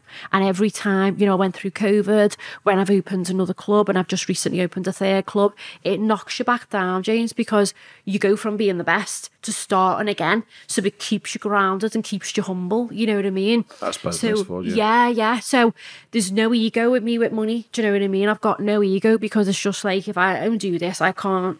There's no food on the table, so I'll do what you know, whatever. So I went back to like basically square one. Um, I opened this club, um, and I had to do it. I had to do it all on my own. So it was like pretty shitty times. Um, the husband was away in Germany. His mum was terminal, and he was caring for her. So I had like two two babies. I had two, so four daughters, um, which again, I don't think I'd have been able to do in a normal job.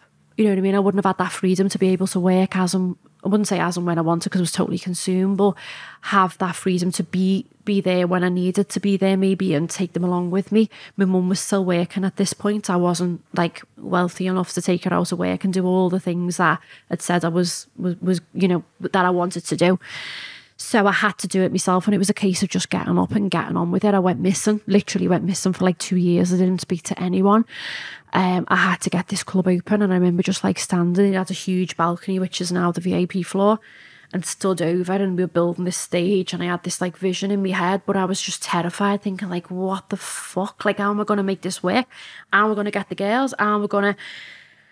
I just thought like you know, when Carl was away, I was on my own and I, I'd done it all. And I, I, I laugh now to say to the girls, like, all these change rooms, I've changed the nappy in every, all these um, VIP boots, sorry, I've changed the nappy in every single one of them. That's how raw it was, you know, every, every part of that club is me. You know what I mean? I am rude is me. Like you cut me in half. It's just like that. It the everything about that club is me. I designed every single part of it. I've worked every part of it.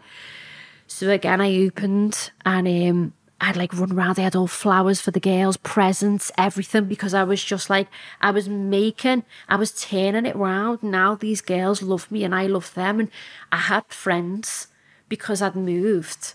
I had this baby. I didn't, you know, I didn't know anyone in my area. I'd not, I lived, I worked in this nocturnal world that was crazy that no one understood. And it got to a point, James, where I didn't want to speak to people because then it's the question. Not that I was embarrassed, because I, I got to a point where I was proud because I was doing so much. When does that change from being embarrassed and I think when I moved shame to, I think when I moved to the big, the big club and shit got serious. And But I think when like, money comes in as well, you don't give a fuck. You Yeah, think, yeah, that's fuck? what I mean. I- Yeah, I was money like, comes, you- no matter what you're doing, if you've got money, you genuinely don't give a fuck. well, this is it. See, when you're starting off, you're kind of sheepish and worried what to say, this and that. But then you do get a bit of money and you think, fuck Well, off. this was the thing. I was earning crazy money that I thought if I don't tell people what I do, they're just going to assume I'm selling drugs because there's no other way I could be earning this amount of money. Do you know what I mean? So, um, yeah, it was that. It was uh, going to the big club, and um, I think knowing how much good because I've only ever I only ever had good intentions, you know what I mean? And it's like a lot of these girls come into this this industry who are now, you know, a lot younger, the students, they're they're away from home, their mums might not know the dance. I've got a juicier care to look after them. They, when they're in that club, they're my responsibility.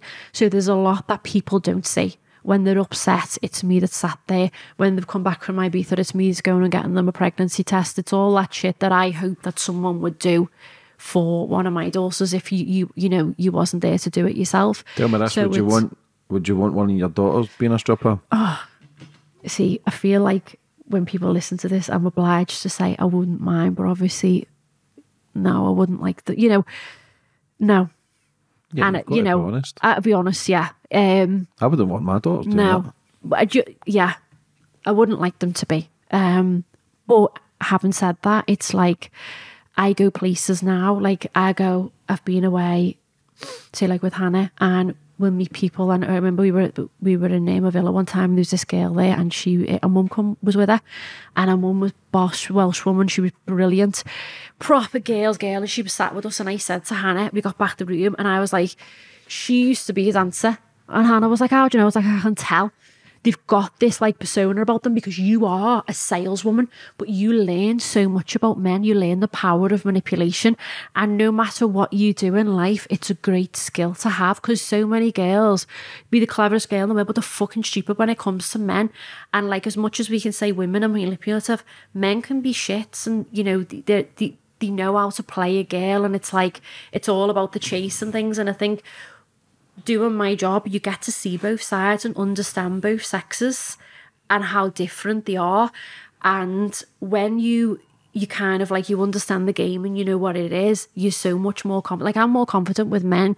Like a lot of the men in work, we, could run six venues now, and they're all like, "Amy's petrified. Amy's petrified. Like I'm terrified of it." And I'm like, "Why?"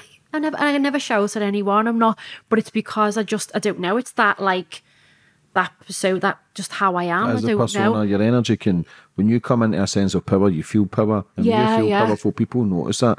People notice calm, people notice confidence, people notice people who are scared. We all know. But if Yeah. you see somebody of power walking in a room, you know, oh, wait a minute, he's got something. You just know who to respect. You kind of, I respect everybody, but you know, there's certain things you can say to Yeah, different yeah. people. What's the rules of the club? Um, so the rules are, um, so there's the obvious, you know, you you have to turn in for your shifts, otherwise you, you still owe the fee. Um, you get charged fees if you're late. So the rules are no touching. Um, that's not set by me. That's set by you know, like the council. Um, so no touching, twelve inches. But then you know you can you can get around those rules. You know what I mean? So you can like you can be with a distance. But so when you say no touching, just no touching in certain areas, shall we say? But one of the reasons I'm big on that, as I say to girls, because it's you've got to keep it fair. So this is what these are all the rules that I had in place that I got a little bit of shift for. And I was like, girls, I do this for you. I do this to protect you because I'm responsible for you while you're here. So say for instance you were to get a dance and a girl starts touching you well then she's inviting you to touch her but then if you touch her she's going to go and cry and it's like well you touched him do you see what i mean so it's like to protect yourself don't touch them because he's a man at the end of the day you know and he's going to get aroused getting this dance or whatever so you're going to touch that guy you're then inviting him to touch you and then you're going to get upset and then we need to come in and you know um, protect you. So there's the touching rule is in place, and there's a lot of rules within a strip club, and this is what like annoys me to be honest. When people think that, I think they would be really. They, they, I think they, they'd be really shocked when they come in and seeing that it's so light-hearted. Do you know what I mean? Like the stage shows are amazing. They are sexualized. There's a lot that goes on. Um, but in terms of rules, you know, there's there's it's it's it is it's really strict, you know, in terms of but there's that respect there, and I think most men they find they get it. Um, but yeah, that's it really. And then there's just like my rules, you know, so how you perceive yourself. So you I I vet the girls before they start. So it's like I get I feel like you get a good vibe for someone's energy do you know what I mean? So you get on straight away if a girl's gonna because we're a nice bunch of girls. We've all got each other's back. We're all in the changing rooms being absolute like it's like when you see us in the changing rooms, we're the most unsexiest things ever. You know what I mean? They've all got the onesies on and the cups of tea and we're cuddled up and it's like it's lovely and I I love it because I am in this world with these amazing girls and I've finally been accepted and because I've come so far from that old group of girls that these girls don't know any different, that I'm, you know, I'm respected, but they also know that I'm there for them and I'll do anything for them. Um, and it's still difficult, you know, don't get me wrong. Like these, these girls will leave sometimes and they'll still shit on you, and there's still that, you know, the boss, the worker mentality where they'll be friends with those girls and they won't speak to you or they'll turn a bit nasty out of jealousy or whatever. And it's one of them. You just have to learn that it's not personal. I just accept it. Um, you know, what is, the down, what is the downfalls of that job? What is the what? downside of being the boss of strippers to then the downside of actually being a stripper? The negatives that come with it. Um, so the negatives that come what with for being a dancer. Yeah. Um, but there's a lot, like, it's not an easy job. People think that, you know, you earn like an exceptional amount of money and, and, you know, and you can, but it comes with experience as well. So it's not guaranteed. So you could go and work a 10 hour shift and work on your feet all night long and not earn a penny because you've had a shit night. You know, you could have a shit week. And this is people think like people message me and go, How much money am I going to earn? And I'm like, I can't answer that question. I can't even tell you how the night's going to be. Do you know what I mean? You could go, you could go in on a Saturday night and it's shit. You could miss the Sunday because you're knackered and a load of guys have come in and spent thousands of pounds upstairs. You know, it you've gotta be be strong and be willing and be determined and accept that you're not always going to earn money. Some nights you're going to do well, some nights you're going to be in debt to the club that you, you work at. You're also going to have to deal with a lot of shit because, as I said before, there is still those narcissistic men that are going to come in and, you know, you've got to be really, really strong. And that's why, like, I, I take it really serious in terms of what girls I take on. And sometimes a girl might not get past, not because she's not beautiful or I think she's good, but I just think she's a little bit too young or a little bit, you know, she's she's not ready. And I wouldn't feel comfortable with putting a girl on the floor that's not able to take the flack that you're going to get because it's not all rosy. You know, there's guys that are going to come and buy your presents, throw money at you. You know, you do get a lot. Like even I get it. You know, you get men telling you, you know, like the the you get you desire by men every single weekend to the point where it's quite funny because like the girls will talk and they'll be like, guys will try and speak to them when they're out, you know, just at a petrol station, just dead innocently, and they're like, for free, you know, like because they just like in their head they're like everyone just loves you, you know, and then but it's difficult. It comes with a lot of issues. Like a lot of dancers end up being lesbians because you're just like so traumatized by men and all the shit that you get with them. And obviously, you're in these changing rooms. There's all these women, and you you're in this like nocturnal world that no one else understands. And I know for me personally, like now I speak openly about it because there's been like the TV show, there's been so much press around it that I speak about it and people read about it and I get that it's interesting, but people don't understand it. So sometimes you feel like public property because if I was to go to, I don't know, a party and someone goes, hey, do you know what she does? That's it then, James. It's an interview. Do you know what I mean? Everyone wants to ask me questions and I'm like, fuck off. Like I'm not in work. I just want to. So we tend to just like I say we because I'm part of that gang now. But we just we tend to just kind of keep yourself to yourself. So your friends, like I know my friends now are are, are strippers. We we all hang around together because it's just it's easier because we all understand each other's lives and we're all supportive of, of each other. Why is it so important for you to be accepted?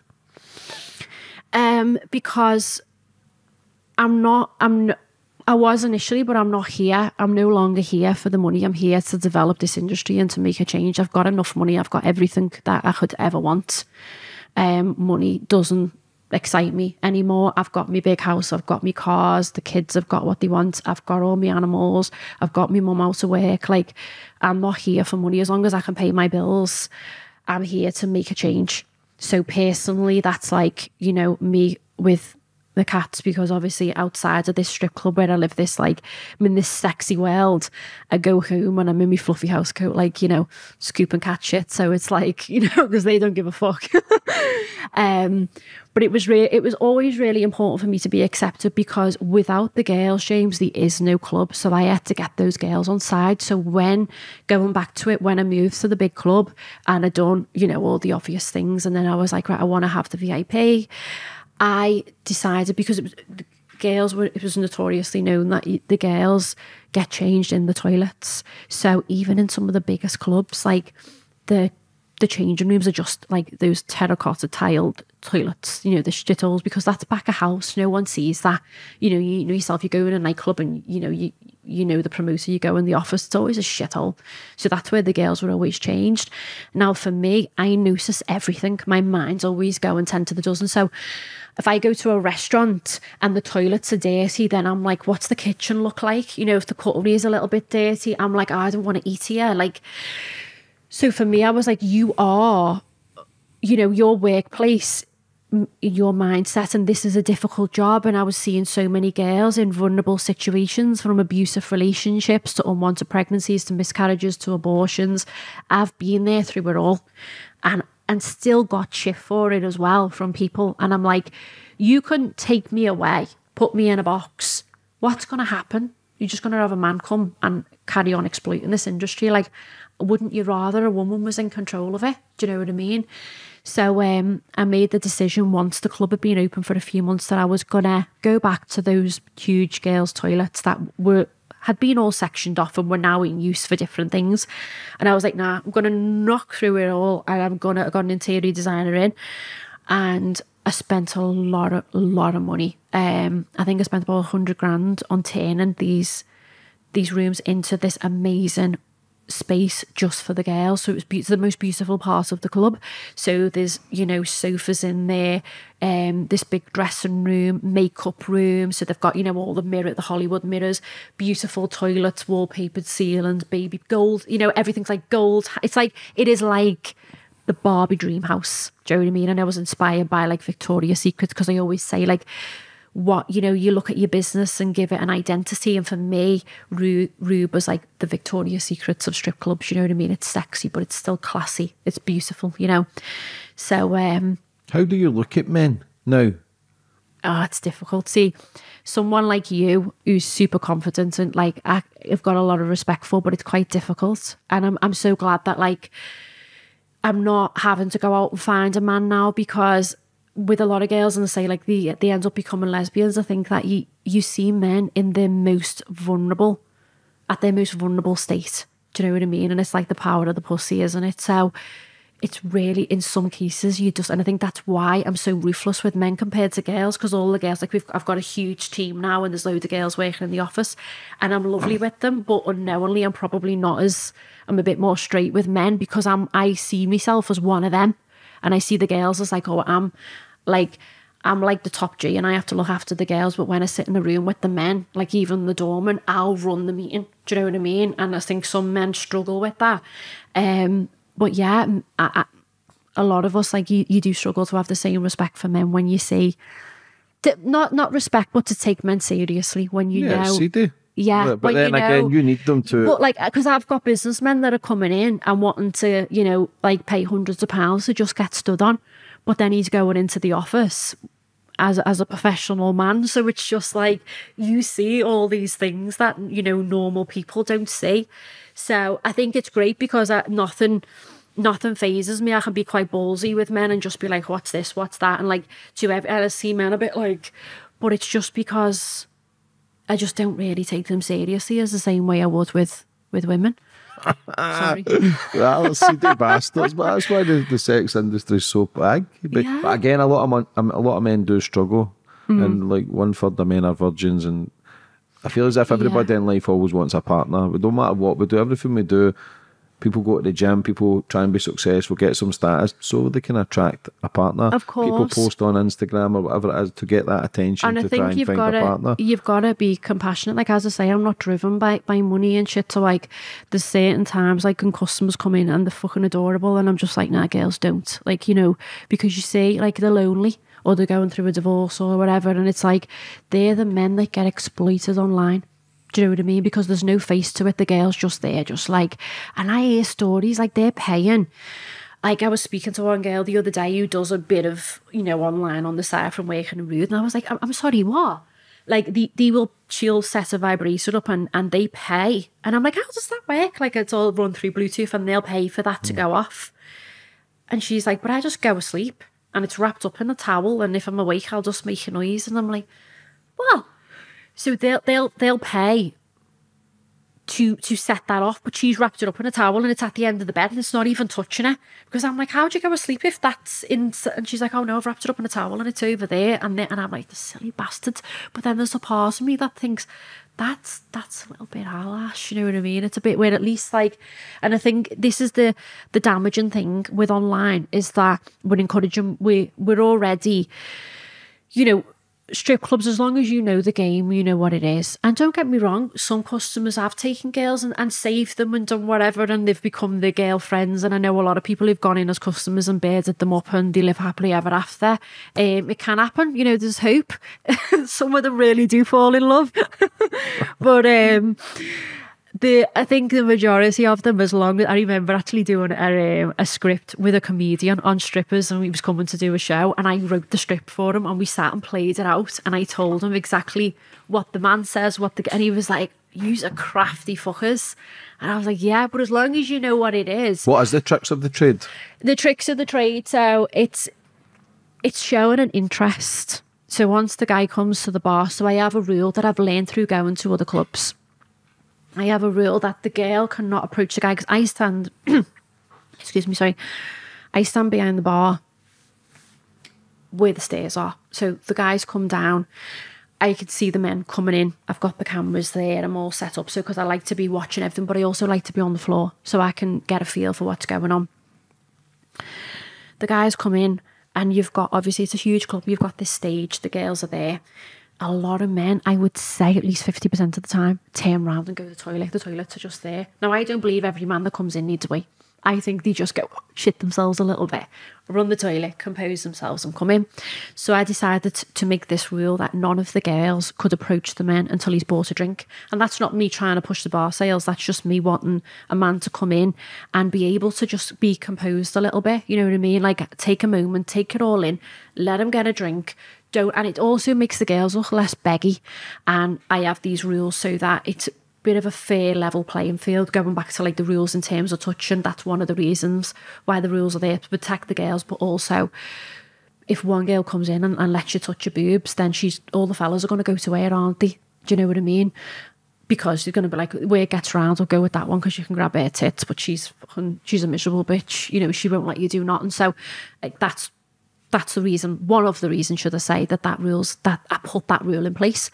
And it's the same with like not being able to approach a customer until he's he's bought a drink. It means that the girls aren't all going to jump up. It stops some clubs you go to james. You walk down the stairs and the girls are at the stairs and that's so they can grab you as soon as you walk in. Now that's creating arguments in the changing rooms but it's also going to make you think like oh fuck this i'm getting off these girls are too much. And you actually like it's like going into a shop if someone stands over me i'm getting off. But if you leave me to browse at my own leisure i'm more likely to buy something. So i always try and look at it from a customer's perspective.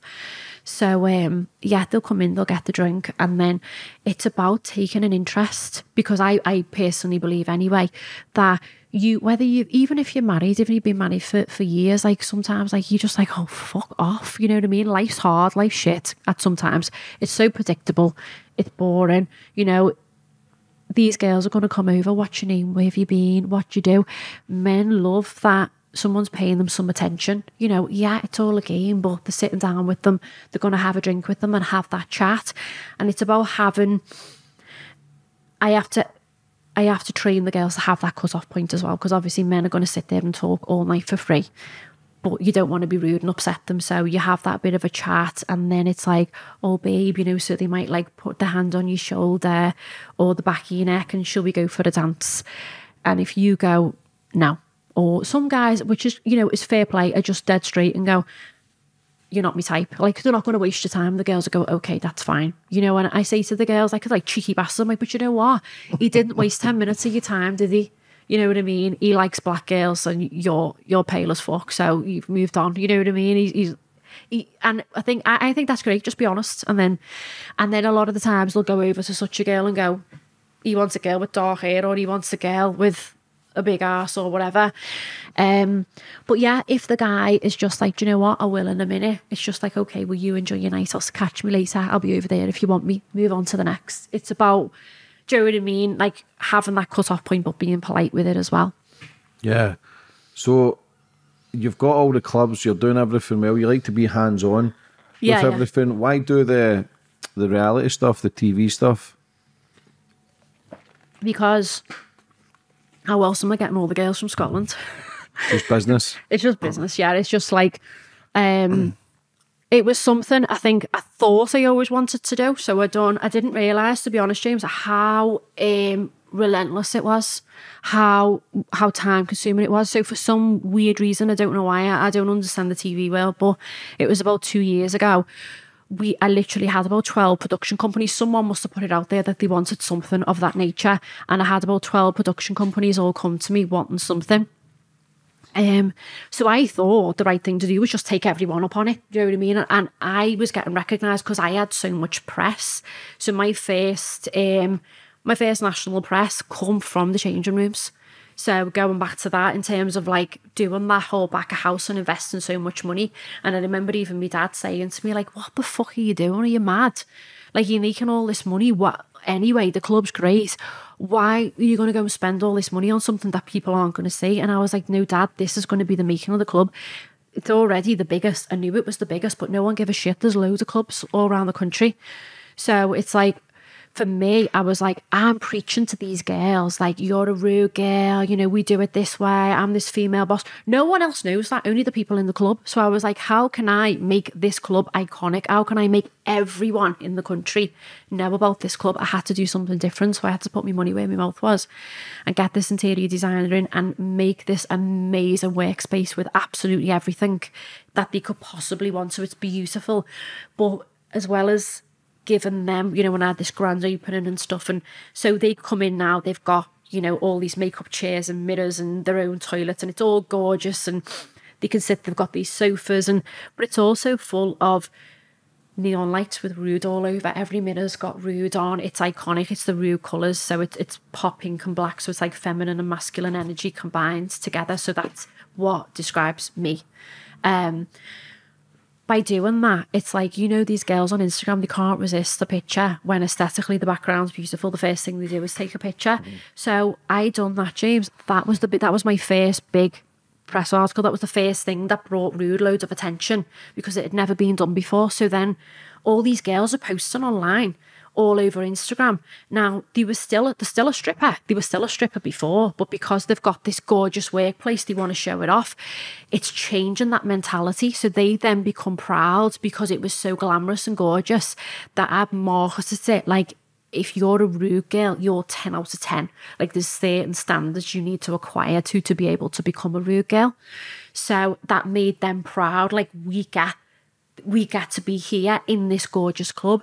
So James, I was flooded. It went all over the press. I was flooded with girls wanting to work. I'm getting the highest caliber of girls because they want to be in this beautiful club and they're like, wow, no one's ever done this before. No one's ever invested so much. But in turn, as I say, I'm getting all this like publicity because everyone's posting all over Instagram, so everyone's seeing it. So I think that's how then it, I got the press. So then when the TV stuff popped up, it was always me because it's always me that's in in the press, and then I was the one that was like the naughty one that opened during COVID when. But I was at a point with you, like we were talking about earlier, where I was just like, well, if I lose the club now, like if I lose my license, I'm with an ass, I'll just sell the fucking building and like, you know, because no one was coming to save me. I was 12 months in, I was closed, all these girls were going online. It was like, uh, what am I going to do? You know, so I, I opened the club in COVID. So I was always like that ballsy one that was doing all the stuff that I shouldn't be doing. And, you know, I was getting a lot of respect for the girls for it as well because I was bringing them back into work when other clubs wasn't. But I was lucky that I had a huge space, so I was able to still do it and not break any rules. You know, I was I literally went to a company, just hired a shitload of plastic tables and thrown them everywhere. And I was like, every time the police would come in, I was like, the customers are sat down there, waitresses you know, so they, they couldn't do nothing because I wasn't really. But again, it was in the press and then I was getting shit like you do and all that. People are dying and you're opening your club. And um, so, yeah, I think naturally when they were looking for shows, they would just come to me. And the way I see it, James, is well, if I don't fucking do it, someone else will. And it's like if another strip club owner was here now and I watched it, I'd be like, bastard, why, why I should be in on that, you know what I mean? So that was always my attitude is it's great for the club people are going to see it. People are going to, and I do. I get a lot of like a lot of girls from it. I get a lot of customers on Saturday. Like I was on stage collecting dollars for the girls, because um, as much as I don't have a dollar system in terms of you know you pay with cash, you pay on cards. Like you can fucking pay anywhere you want. You can bank transfer me, PayPal me, don't care. Pay in euros, like money's money. But um, I have like I have like a real currency for the girls on stage. So that's just like you can go and a lot of women buy that because it's not as I learned that actually through COVID. It's not as daunting, shall we say, as going and getting a dance. So say you were there with a group of guys, but you're like, some fellas are married and they're just absolute mings and don't want to go and get a dance. So it's like, well, go and get 20 quid worth of dollars and just throw them on the stage to the bed. Like it's not it's just a bit of fun, isn't it? And it's interactive. It makes the shows fun because the girls are going to come over and stick those dollars in places that they shouldn't and play up and come and tease. And so it puts on a great show for everyone else. And um, yeah, sorry, I'm doing that. And then there's like guys like, oh my God, you're that girl off the off the telly. Um, so unknowingly it brings customers in as well. But then so it was great, you know, and it was a great opportunity, and I'm so um, I'm so grateful for it. But it, it, again, that comes with a lot of shit as well, doesn't it? What shit do you get? Just, I think, you know what, just like, I think jealousy, I got a lot of trolling off that. Um, and again, now, like, I look back and it was quite recent, it was only about a year ago. I look back and I'm grateful for that as well. Um, I think you know who your friends are. Like, don't fuck with a scouse bear because you know. oh my god! Everybody knows I love yeah. the scousers, but uh, yeah. are tapped. Yeah, but like, same as the Glaswegians and that, like yous are tapped. Like same yeah. as like I love the Travellers the community. I was at the Tyson Fury fight and it was all the travellers. I love their beliefs of the family life and the man out working and they're taking their kids out schooling, homeschooling them and making money. The wee kid, the wee boy was only 13 his dad's giving him a grand a week. He's out grafting with him, working. Like, I love the travellers because yeah. they're fucking mad and they support their own you know and what? they're loyal. Same as the Scousers. Like, I just love it because there's something about it I can resonate with the madness. Yeah. The Scousers are just that tap, man, you're yeah, fucking mad. But, and I love and that. I'm quite reserved because you're I'm not like really, but you, you, think that as well. But because you've been your masculine and your feminine, sometimes yeah, you yeah. probably not know who the fuck you are because you're probably strong in both sides. Yeah. And I think that's why it was a great place to start in Liverpool as well, because naturally we are like that. Do you know what I mean? Like, we've got that culture of, you know, you stick together, you know, everyone looks out for each other. Um, and yeah, I remember going through that shit, and especially like you know Hannah, like bless her. Yeah, shout out Hannah, I love Hannah. Yeah, yeah, she's she's amazing, and like her, like friend Carl, like they were there straight away. They were like, "What? Who the fuck?" Because they knew like I'm I'm a nice person. I come with with I don't I'm not out to harm anyone. I'm here to bring nothing but good. Obviously, you know you are going to piss some people off along the way. You're going to offend people. You can't go. You know, if you're scared of of offending anyone, you're never going to do anything in your life, are you? So um, yeah, I think it just come from pure jealousy, and there was like so much hate online. And I think um, it was hardest for my mum and for like Carl to see my husband as well because I was like, I'd never experienced that before, James. It's like, mm. it was mad, like how I don't know how people in the public eye do it because once one person attacks you, everyone jumps on like a witch hunt, like it's fun, like I kick her while she's down. But you're a fucking human being and you've got feelings Do you know what I mean? And I, I, I thought I'd been through so much shit, but I remember at that point, like, I remember going outside in the garden because I felt like I couldn't breathe. Like I was like, and it was anxiety, like waking up, and, and I was so blessed. I was so lucky. I have four healthy daughters. I had this fantastic club. Nothing was going to change. No customer was not going to come through the door. People were like, I was getting so many amazing comments. Such, you know, people were stopping me, and loads of girls were coming to the club. But sometimes, like, you know, one negative can outweigh a hundred positive, can't it? And now I look back and again, that developed because I'd never gone through that before. Now I'm so grateful for them people because every time a little negative comment comes up, like for instance, opening the third venue. Um, sometimes, James, because you're only human, like, you know, and having like fucking rage and ADHD, I'll go through life like it's like the only way to describe it is trying to do 60 mile an hour in second gear. You're like every day. So there is the odd day where you wake up and go, you know, I can't be asked, like, and I just ignore my phone because mentally I can't talk to anyone. And I'll go home and I'll sit with, you know, because I obviously rescue cats and that's something that um, that's my therapy. And I'll go home to my cats and it's just pure, and me, me dog, and it was just pure love. Um, and I'll be like, they, they, they heal me, you know what I mean? That That's like my safe place. And I'll go home and I'm like, I don't want to fucking speak to anyone. And then someone will just kick the fucking bee's nest, you know what I mean? And say something. And I'm like, fucking don't. And it's great because it gives that fire back in you. So I'm so grateful because it just, it, it the unknowingly, the like, I think if everyone's just like, you boss, you're smashing it, you're like, oh, sound. You get comfortable, don't you? But when when you're forced, you know, for instance, like Rude's getting sold, you've got to get off. Where this new strip club's coming up for sale. Well, if I don't get it, someone else's. This TV show, well, if I don't get it, someone else's.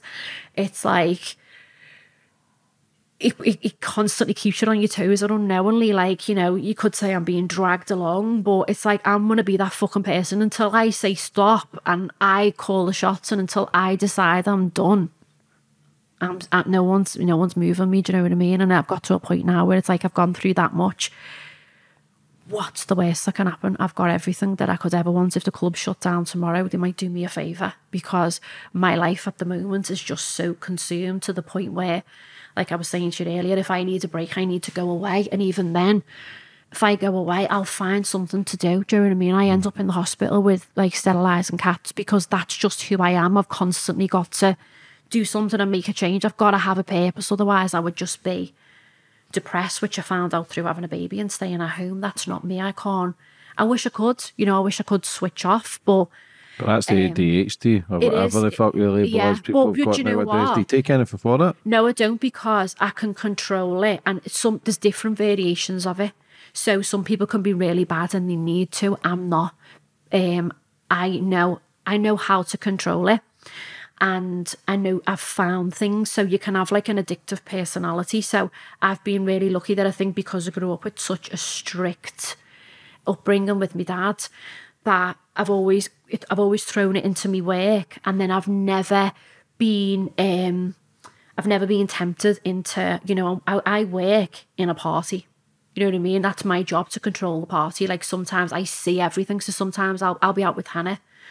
And like we always end up in Rude and I'll I'll get the club and we'll get on a stage side booth and I'll be texting the barman to bring dollars up. No one in that club knows I'm the owner because I'm not in my work attire. I'm I'm you know out and I'm giving Hannah dollars. I'm giving her dollars and they're like wow and I'll be there James like and the DJ's putting the songs on that I'm telling them to put on and I'm doing this and it's about like you you creating a moment in within the club and then it works because then he's getting dollars, she's getting dollars. The girls are loving it because they're not.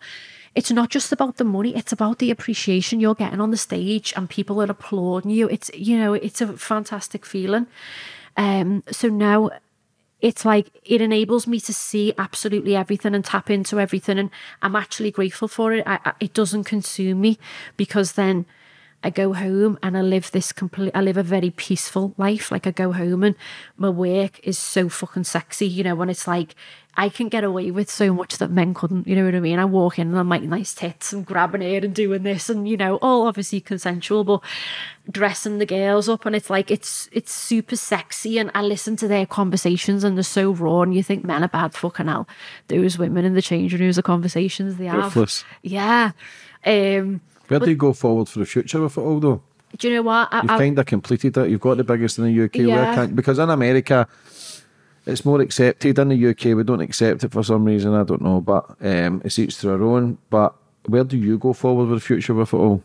Uh, do you know what? I don't know. Like I've sat there before today and I've gone right. Do you need bad shit to happen to then kickstart you again to move on with it? Because you seem as if you can get complacent, but you seem to have a good setup with it all. But you obviously seem to work better when the shit hits the fans yeah, for some yeah, reason. Yeah, when you kick the bee's nest to go go wild. Um, so at the moment, I'm running. You know, I've got I've got three clubs within within Liverpool. Um, I don't know, James. Like you know, I tapped into London and I've had a lot of interest. It scares me.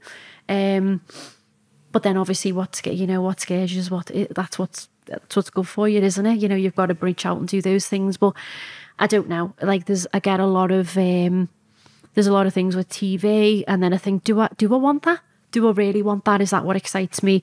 Do I want to go to London? Because then going through like a little with COVID and then going through like all the shit that I went through with the show, it was like I went away and then started rescuing these cats and got so invested into working with these charities. I was like, I need to be at home because I've got a huge responsibility and that's what brings me so much peace. So I question day to day do I want to go and live that city London life or do I want to just work? I need to be here. And I earn too much money to stop. But then at home, my life's completely different. You know, I'm the most unsexiest person in the world in my fluffy house coat sat with like go to sleep and wake up and there's eight cats and but that's like that that makes me happy that brings me so much peace so I don't know do you know what I mean as long, as long as it feels right I'll say yes to everything and I just keep going um What makes a good entrepreneur? what makes a good entrepreneur um I think what makes a good entrepreneur is consistency. You've got to be consistent in what you're doing. You've got to show up no matter how how you feel. Except that there's going to be you know there's going to be bad days. It's just it's a bad day. You get over it. Do what you need to do. If you need to go and rest come back. You know you do that. Um and just don't don't give a fuck don't ever if i could go back in time i would never ever have explained myself because i went into covid those doors shut and no one was knocking on my door to pay my bills. Do you know what i mean? So it's just like just just look out for yourself just be true in what you do do it with good intentions and just work you know go at it be passionate if you believe in something and you're passionate about it. As long as you enjoy it just go for it. I think like i think it's naive to say you're always we're all going to make money from something we enjoy. You know what i mean? If you find something and it drives you and you can earn a good living from it just fucking just go for it. And just yeah it's it's a it's a it's an endurance test being an entrepreneur. And I've give up so many times. Not of recent back you know back in the early days. Um it was a test of like of strength as to how strong am I can I do you know can I do this and there was many times that I, I'd give up and I was quitting and someone else was going to run the girls and I'd go away and um it'd last a fucking day or two and then I'd just me out of James, you know what I mean, and go back in like some sound. But now it's fine because I think you learn. Um, back then I was giving all my energy to the girls in the club, where now I've realised that you have to fill your own pot. So I'm really, you know, I got my dog and that was like I got my dog during COVID and that was um one of the he's like one of the best things that ever happened to me because he's just you know the love of your dog is so pure and when the world was going crazy and you're losing faith in humanity it was like I'd go home to the dog. And so that's my thing now is when shit, you know, I feel me head going a little bit, I'll just go on a big walk with the dog, come back and I'm sound. And it's just finding those things to keep, to keep hmm. you, you kind of like your mind. Stable. Yeah. How are you feeling now? Good, good. It's all right on that. Yeah, you wasn't too bad.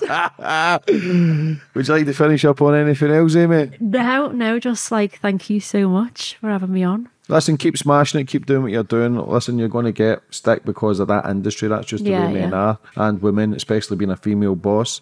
And then obviously stripping and all that. But listen, people are going to talk shit, but fair play to you. If people are happy, you're not harming anyone. I'll support you all, all steps of the way. so you. I wish you nothing but the best for the future, babe. God bless you, and uh, thanks for today. Thank you so much. Thank you.